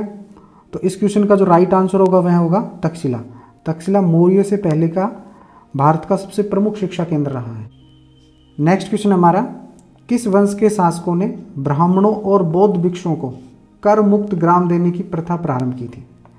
तो देखिए, ब्राह्मणों और बौद्ध भिक्षुओं को जो कर मुक्त भूमि देने का जो प्रचलन प्रारंभ किया था वह किया था सातवाहन ने। यह भूमि पूर्ण रूप से करमुक्त होती थी और इसी अनुदान की वजह से आगे चलकर सामंतवाद का विकास हुआ।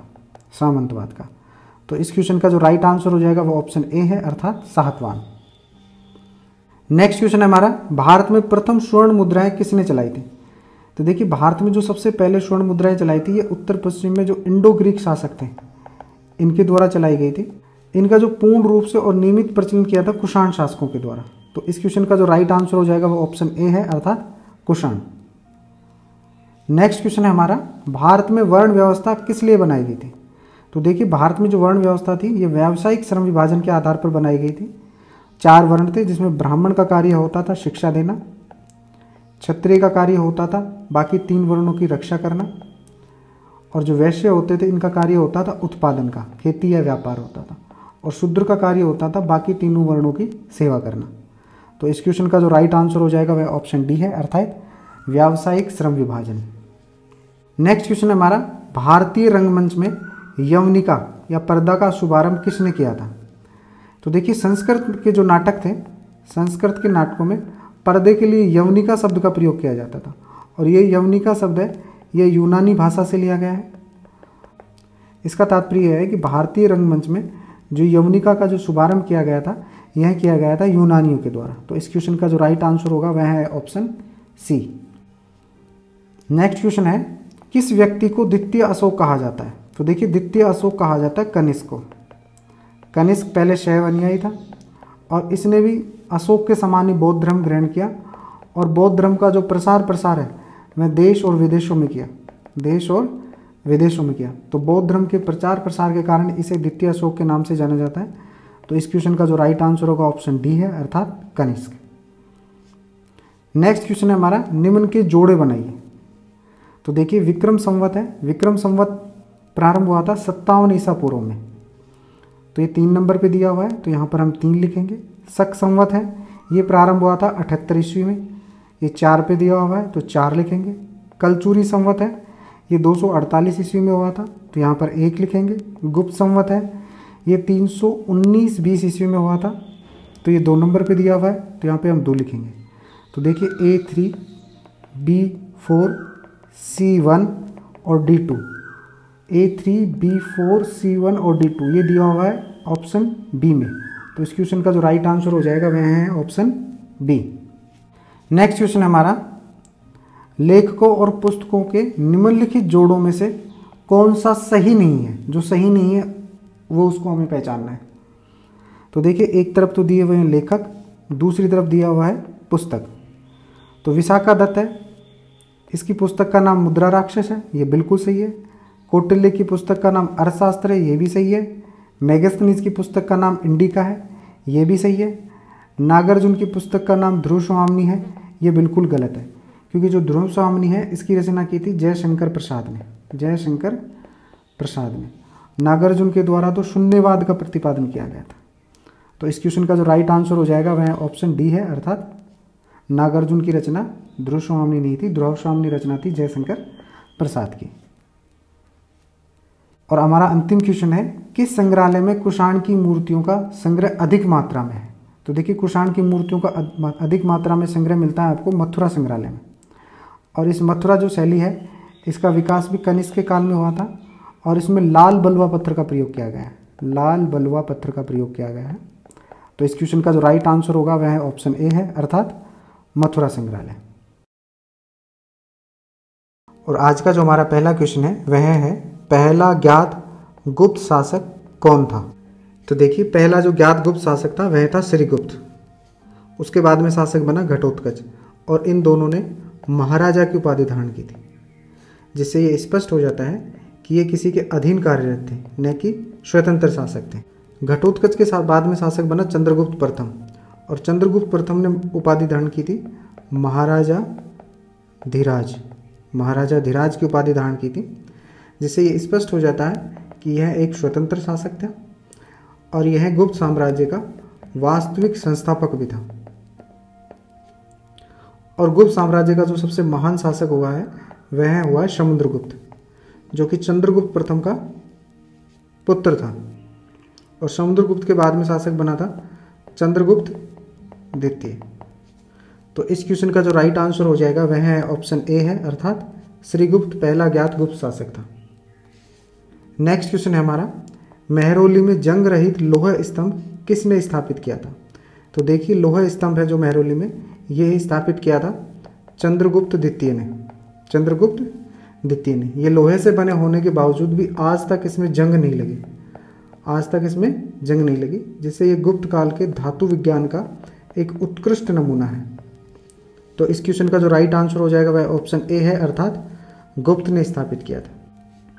नेक्स्ट क्वेश्चन है हमारा, गुप्त राजा जिसने विक्रमादित्य की पदवी ग्रहण की थी। तो देखिए, विक्रमादित्य और दूसरी पदवी धारण की थी विक्रमांक। विक्रमांक। ये दोनों ही पदवी धारण की थी चंद्रगुप्त, द्वितीय ने।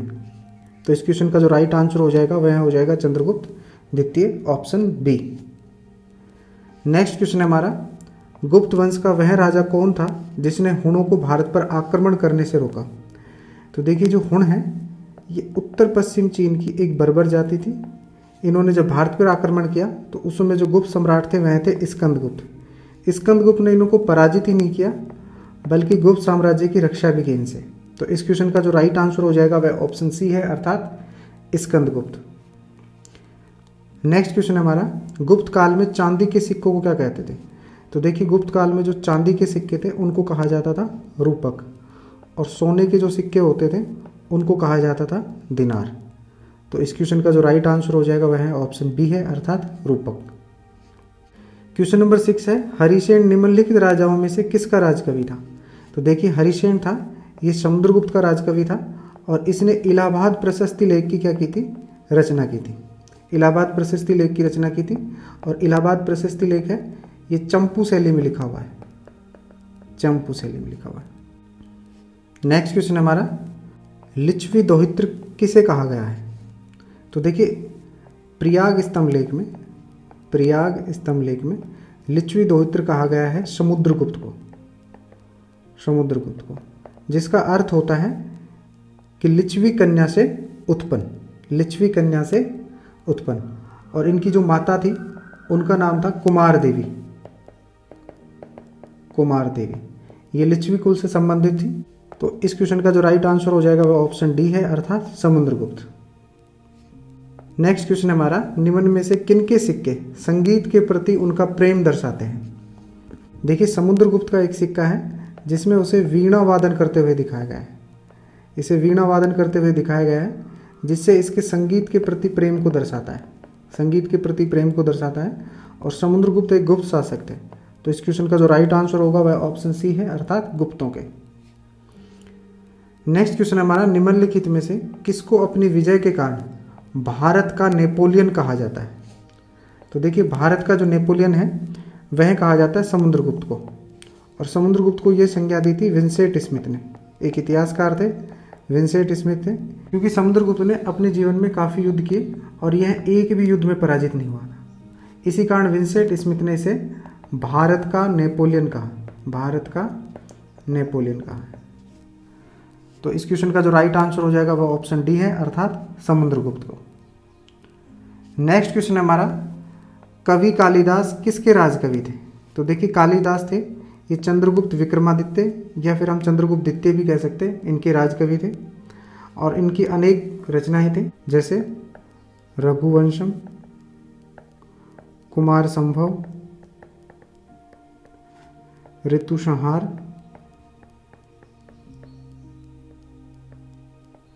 मेघदूत। तो इस क्वेश्चन का जो राइट आंसर होगा वह ऑप्शन सी है, अर्थात चंद्रगुप्त विक्रमादित्य। नेक्स्ट क्वेश्चन हमारा, गुप्त शासन के दौरान निम्नलिखित में से ऐसा व्यक्ति कौन था जो एक गणितज्ञ था? तो देखिए, गुप्त शासन में जो महान गणितज्ञ हुए हैं, वो हुए हैं आर्यभट्ट। इन्होंने एक तो शून्य का आविष्कार किया था और इनकी एक पुस्तक थी आर्य भट्टिय आर्य भट्टिय तो इस क्वेश्चन का जो राइट आंसर होगा, वह ऑप्शन सी है, अर्थात आर्यभट्ट। क्वेश्चन नंबर ट्वेल्व है फायान किसके शासनकाल के दौरान भारत में आया था? देखिए फायान है। ये चंद्रगुप्त द्वितीय के शासनकाल में भारत आया था। तीन सौ निन्यानवे ईस्वी से लेकर चार सौ चौदह ईस्वी के मध्य। और इसने एक पुस्तक लिखी थी फू को की फू को की जिससे हमें गुप्त काल के बारे में जानकारी प्राप्त होती है। तो इस क्वेश्चन का जो राइट आंसर हो जाएगा, वह ऑप्शन ए है, अर्थात चंद्रगुप्त द्वितीय। नेक्स्ट क्वेश्चन हमारा, निम्नलिखित में से वह व्यक्ति कौन है जो चिकित्सक नहीं है? तो देखिए, सुश्रुत, चरक धनवंतरी, ये तीनों ही महान चिकित्सक हुए हैं प्राचीन काल के। और इनमें जो चारवाक हैं, ये जाने जाते हैं अपने भौतिकवादी दर्शन के लिए, भौतिकवादी दर्शन के लिए। और ये चिकित्सक नहीं थे। तो इस क्वेश्चन का जो राइट आंसर हो जाएगा, वो ऑप्शन डी है, अर्थात चारवाक नेक्स्ट क्वेश्चन है हमारा, प्राचीन भारत के विख्यात चिकित्सक धनवंतरी ने अपना परामर्श किसके दरबार में दिया था? तो देखिए, जो धनवंतरी थे, ये चंद्रगुप्त द्वितीय के राज चिकित्सक और एक विख्यात आयुर्विज्ञान के ज्ञाता थे। तो इस क्वेश्चन का जो राइट आंसर होगा, वह है ऑप्शन सी है, अर्थात चंद्रगुप्त द्वितीय। नेक्स्ट क्वेश्चन है हमारा, वराह मिहर क्या है? तो देखिए, वराह मिहर थे, ये गुप्त काल के प्राचीन खगोलज्ञ और गणितज्ञ थे। तो इस क्वेश्चन का जो राइट आंसर हो जाएगा, वो ऑप्शन डी है, अर्थात एक प्राचीन खगोलज्ञ। नेक्स्ट क्वेश्चन हमारा, अजंता की चित्रकारी क्या निरूपित किया गया है? देखिए, अजंता की चित्रकारी में हमें जातक कथाओं का उल्लेख मिलता है और यहाँ पर जो जातक कथाएँ हैं, इनका संबंध है भगवान बुद्ध की पूर्व जन्म की कहानियों से। पूर्व जन्म की कहानियों को ही जातक कथाएँ कहा जाता है। तो इस क्वेश्चन का जो राइट आंसर हो जाएगा, वह ऑप्शन सी है, अर्थात जातक। नेक्स्ट क्वेश्चन है, गुप्त राजवंश किसके लिए प्रसिद्ध था? तो देखिए, गुप्त राजवंश है, ये कला और साहित्य के लिए प्रसिद्ध था। और इसे भारतीय संस्कृति का स्वर्ण युग भी कहा जाता है। भारतीय संस्कृति का स्वर्ण युग भी कहा जाता है इसी वजह से, क्योंकि इस समय भूमरा का शिव मंदिर है तिगवा का विष्णु मंदिर, मेहरोली स्तंभ लेक और अजंता की जो गुफाएँ हैं, उनमें गुफा नंबर 16 और जो सत्रह हैं। ये गुप्त काल से संबंधित है। तो इन्हीं कला और स्थापत्य की वजह से गुप्त काल काफ़ी प्रसिद्ध था। तो इस क्वेश्चन का जो राइट आंसर हो जाएगा, वह ऑप्शन ए है, अर्थात कला और स्थापत्य। नेक्स्ट क्वेश्चन हमारा, इलाहाबाद स्तंभ के शिलालेखों में किसकी उपलब्धियों का वर्णन है? तो देखिए, इलाहाबाद जो शिलालेख है, इसकी रचना की थी हरिशेन ने और इसमें आपको समुद्रगुप्त के संबंध में जानकारी मिलती है। समुद्रगुप्त को अश्वमेघ कर्ता भी कहा गया अश्वमेघ कर्ता, इसके अतिरिक्त इसे कविराज भी कहा गया तो इस क्वेश्चन का जो राइट आंसर हो जाएगा, वह ऑप्शन डी है, अर्थात समुद्रगुप्त। नेक्स्ट क्वेश्चन हमारा त्रिमूर्ति की अवधारणा का उदय हुआ था। तो देखिए, यहाँ पर जो त्रिमूर्ति है, उनका तात्पर्य है ब्रह्मा, विष्णु और महेश से। और इनकी जो पूजा का, या इनकी मूर्ति का जो प्रारंभ हुआ था, वह हुआ था गुप्त काल में। तो इस क्वेश्चन का जो राइट आंसर हो जाएगा, वह ऑप्शन सी है, अर्थात गुप्त काल में।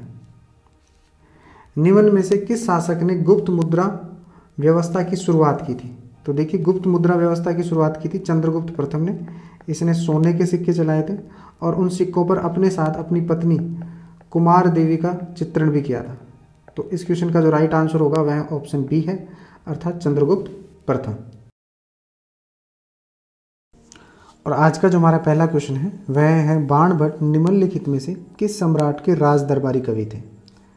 तो देखिए, बाण भट्ट थे, ये हर्षवर्धन के राज दरबारी कवि थे और इनकी दो प्रमुख रचनाएँ हैं। एक तो है हर्षचरित हर्ष चरित, और दूसरी जो इनकी प्रमुख रचना है, वह है कादम्बरी तो इस क्वेश्चन का जो राइट आंसर होगा, वह है ऑप्शन सी अर्थात हर्षवर्धन के दराज दरबारी कवि थे। नेक्स्ट क्वेश्चन हमारा, पृथ्वीराज रासो निम्नलिखित में से किसने लिखा था? तो देखिए, पृथ्वीराज रासो के जो रचयिता थे, ये चंद्रप्रदायी थे, और चंद्रप्रदायी थे एक चौहान शासक थे पृथ्वीराज तृतीय। पृथ्वीराज तृतीय। इनके राजकवि थे। और जो पृथ्वीराज रासो है, ये हिंदी साहित्य का प्रथम महाकाव्य है। हिंदी साहित्य का प्रथम महाकाव्य है। तो इस क्वेश्चन का जो राइट आंसर हो जाएगा, वह है ऑप्शन बी है, अर्थात चंद्रवरदाई नेक्स्ट क्वेश्चन हमारा, यदुवंशी सम्राटों की राजधानी कहाँ थी? तो देखिए ऑप्शन ए में दिया हुआ है, द्वार समुद्र। तो द्वार समुद्र है ये होयसल वंश की राजधानी थी। वारंगल है, ये काकतीय की राजधानी थी। देवगिरी राजधानी थी, यदुवंशियों की राजधानी थी और कल्याणी राजधानी थी चालुक्यों की। यहाँ पर हम बात कर रहे हैं देवगिरी की।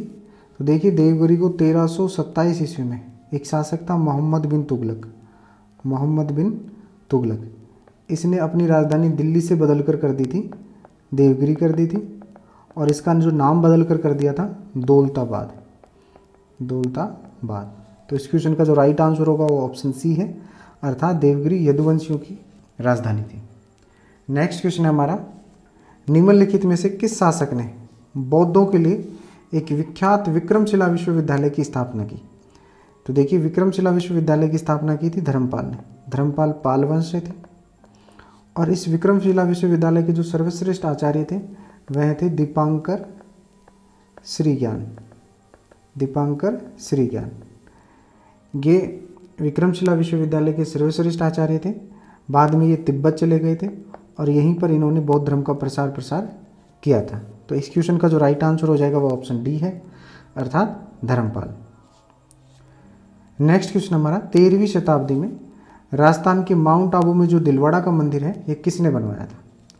तो देखिए गुजरात के एक शासक थे बघेल वंशीय वीर धवल और वीर धवल के दो मंत्री थे, एक का नाम वास्तुपाल था और दूसरे का नाम था तेजपाल। तो इन दोनों के द्वारा ही दिलवाड़ा के जैन मंदिर का निर्माण किया गया था। तो इस क्वेश्चन का जो राइट आंसर हो जाएगा वह है तेजपाल। नेक्स्ट क्वेश्चन हमारा। निम्नलिखित में से अंतिम बौद्ध राजा कौन था, जो संस्कृत का महान विद्वान और लेखक था। तो देखिए, वह थे हर्षवर्धन। हर्षवर्धन ने तीन ग्रंथ लिखे थे, जिसमें से पहला आ जाता है, नागानंद, दूसरा रत्नावली और तीसरा था प्रिय दर्शिका प्रिय दर्शिका ये तीन ग्रंथ लिखे थे। इसके अतिरिक्त इसे शिलादित्य के नाम से भी जाना जाता है। हर्षवर्धन को शिलादित्य के नाम से भी जाना जाता था। और इसने एक उपाधि धारण की थी, परम भट्टारक नरेश। परम भट्टारक नरेश की उपाधि धारण की थी। तो इस क्वेश्चन का जो राइट आंसर हो जाएगा वह ऑप्शन डी है, अर्थात हर्षवर्धन। नेक्स्ट क्वेश्चन है, निम्नलिखित में से सुमेलित है। तो यहाँ पर हमें सुमेलित करना है। तो देखिए ऑप्शन ए में दिया हुआ है एलोरा और सामने दिया हुआ है सक, जो गलत है, क्योंकि एलोरा का निर्माण करवाया था, राष्ट्रकूट शासकों ने करवाया था। दूसरा बी में महाबलीपुरम दिया हुआ है, सामने दिया हुआ है राष्ट्रकूट। तो ये भी गलत है, क्योंकि महाबलीपुरम का निर्माण पल्लव शासकों ने करवाया था। सी में दिया हुआ है मीनाक्षी मंदिर और सामने दिया हुआ है पल्लव तो ये भी गलत है, क्योंकि मीनाक्षी मंदिर का निर्माण करवाया था पांडे शासकों के द्वारा। डी में खजुराहो दिया हुआ है, सामने दिया हुआ है चंदेल तो ये बिल्कुल सही है, क्योंकि खजुराहो का निर्माण चंदेल शासकों के द्वारा ही किया गया था। तो इस क्वेश्चन का भी जो राइट आंसर हो जाएगा वह ऑप्शन डी है, अर्थात खजुराहो का निर्माण चंदेल राजपूतों ने करवाया था और ये बिल्कुल सही सुमिलित है। नेक्स्ट क्वेश्चन हमारा, निम्नलिखित में से विश्व विरासत सूची में शामिल नहीं है। तो देखिए, खजुराहो है, ये भी विश्व विरासत सूची में शामिल है। नालंदा के जो ध्वंस अवशेष हैं, ये भी विश्व विरासत सूची में शामिल है। ताजमहल भी विश्व विरासत सूची में शामिल है। ऑप्शन सी में दिया हुआ है, हम्पी के ध्वंस अवशेष। तो ये विश्व विरासत सूची में शामिल नहीं है। तो इस क्वेश्चन का जो राइट आंसर हो जाएगा वह ऑप्शन सी है। नेक्स्ट क्वेश्चन हमारा, निम्नलिखित में से किस राजपूत शासक ने भोपाल शहर की स्थापना की थी? तो देखिए, भोपाल शहर की स्थापना की थी राजा भोज ने। इसके अतिरिक्त इन्होंने भोपाल के अलावा एक और नगर की स्थापना की थी, वह थी भोजनगर भोजनगर की। इन्होंने दो मंदिरों का भी निर्माण करवाया था। एक तो करवाया था सरस्वती मंदिर का निर्माण तो सरस्वती जो मंदिर है, इसका निर्माण करवाया था इन्होंने। धार नगर में। धार नगर में। दूसरा जो इन प्रमुख मंदिर का निर्माण करवाया था, वह करवाया था त्रिभुवन नारायण मंदिर। त्रिभुवन नारायण मंदिर। और इसका निर्माण करवाया था चित्तौड़ में, जो राजस्थान में है। तो इस क्वेश्चन का जो राइट आंसर हो जाएगा, वह ऑप्शन सी है, अर्थात राजा भोज। नेक्स्ट क्वेश्चन है, मिहिर भोज राजपूतों के किस कुल से संबंधित हैं? तो देखिए, मिहिर भोज है, ये राजपूतों के प्रतिहार कुल से संबंधित है। और ये प्रतिहार कुल के सबसे श्रेष्ठ शासक हुए हैं। इनके द्वारा एक उपाधि धारण की थी, आदिवरा। आदिवरा के अतिरिक्त इन्होंने प्रभास की भी उपाधि धारण की थी। तो इस क्वेश्चन का जो राइट आंसर हो जाएगा, वह ऑप्शन बी है, अर्थात प्रतिहार कुल से संबंधित है। नेक्स्ट क्वेश्चन है हैंसांग किसके शासनकाल के दौरान भारत में आया था? देखिए हैंसांग है, ये 630 से 643 ईस्वी के मध्य भारत में रहा। और इसने अपने यात्रा वृत्तांत है, एक पुस्तक है सी यू की। इसमें लिखे थे। और यह आया था हर्षवर्धन के शासनकाल में। तो इस क्वेश्चन का जो राइट आंसर हो जाएगा, वह ऑप्शन सी है, अर्थात हर्षवर्धन। नेक्स्ट क्वेश्चन हमारा, अद्वैत दर्शन के मुख्य प्रतिपादक कौन थे? तो देखिए, अद्वैत दर्शन के जो मुख्य प्रतिपादक थे, वह थे शंकराचार्य। जबकि माधवाचार्य ने द्वैत दर्शन का प्रतिपादन किया था। द्वैत दर्शन का। जबकि रामानुजाचार्य ने विशिष्ट अद्वैत दर्शन का विशिष्ट अद्वैत दर्शन का प्रतिपादन किया था। तो इस क्वेश्चन का जो राइट आंसर हो जाएगा वो ऑप्शन बी है, अर्थात शंकराचार्य ने। नेक्स्ट क्वेश्चन हमारा, नालंदा विश्वविद्यालय को नष्ट करने वाला मुस्लिम आक्रमणकारी कौन था? तो देखिए, मोहम्मद बिन बख्तियार खिलजी है। इसने नालंदा और विक्रमशिला दोनों ही विश्वविद्यालय को दुर्ग समझकर नष्ट कर दिया था। दुर्ग समझकर नष्ट कर दिया था। तो इस क्वेश्चन का जो राइट आंसर हो जाएगा वह ऑप्शन सी है, अर्थात मोहम्मद बिन बख्तियार खिलजी। नेक्स्ट क्वेश्चन है हमारा, हर्षवर्धन को किसने पराजित किया? तो देखिए, हर्षवर्धन को 630 ईस्वी में नर्मदा नदी के तट पर पराजित किया था पुलकेशियन द्वितीय के द्वारा। तो इस क्वेश्चन का जो राइट आंसर हो जाएगा वो ऑप्शन बी है। पुलकेशियन द्वितीय चालुक्य वंश से थे। नेक्स्ट क्वेश्चन हमारा, हर्षवर्धन की आरंभिक राजधानी कहाँ थी? तो देखिए, हर्षवर्धन है, इसने 605 ईस्वी में अपने पिता प्रभाकर वर्धन की मृत्यु के पश्चात राज्य को संभाला। और उस समय जो राजधानी थी, वह थी थानेश्वर। 606 ईस्वी में इन्होंने एक नई राजधानी बनाई, कन्नौज। तो इनकी जो प्रारंभिक राजधानी थी, वह तो थानेश्वर ही थी। उसके बाद में इन्होंने कन्नौज को अपनी राजधानी बनाया। तो इस क्वेश्चन का जो राइट आंसर हो जाएगा वो ऑप्शन सी है, अर्थात थानेश्वर। नेक्स्ट क्वेश्चन है 738 ईस्वी में अरबों को पराजित किया था। तो देखिए 738 ईस्वी में एक युद्ध हुआ था, जिसे नाम से जाना जाता है राजस्थान का युद्ध। राजस्थान का युद्ध। इस युद्ध में जो प्रतिहार शासक थे नागभट्ट प्रथम, इनके नेतृत्व में एक, नागभट्ट प्रथम के नेतृत्व में एक राजपूतों का एक संघ बनाया गया। और दूसरी तरफ़ थे, अरबों का जो नेतृत्व कर रहे थे, वह कर रहे थे जुनेद इबन अब्दुल रहमान अलमारी। जुनेद इबन अब्दुल रहमान अलमारी। और इस युद्ध में नागभट्ट प्रथम की विजय हुई थी। तो इस क्वेश्चन का जो राइट आंसर होगा वह है प्रतिहारों ने क्योंकि नागभट्ट प्रथम प्रतिहार वंश से थे। नेक्स्ट क्वेश्चन हमारा, कोणार्क मंदिर के देवता हैं। तो देखिए, कोणार्क मंदिर के देवता हैं सूर्य। और इसका निर्माण करवाया था एक गंग शासक थे, नरसिंह देव प्रथम। नरसिंह देव प्रथम। इनके द्वारा कोणार्क मंदिर का निर्माण करवाया था। तो इस क्वेश्चन का जो राइट आंसर हो जाएगा, वह ऑप्शन ए है, अर्थात सूर्य मंदिर है। नेक्स्ट क्वेश्चन है, सांची का महास्तूप है।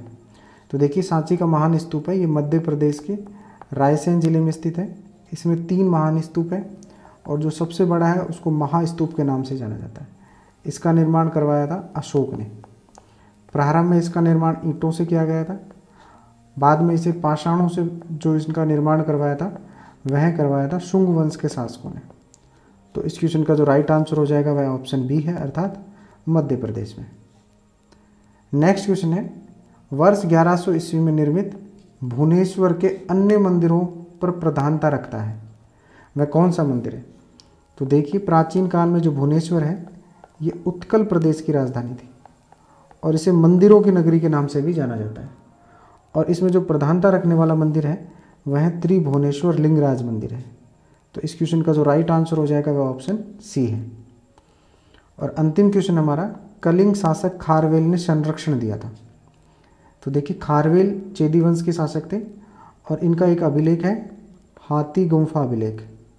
हाथी गुम्फा अभिलेख। और इस अभिलेख से हमें ज्ञात होता है कि इन्होंने जैन लोगों को ग्राम दान दिए थे।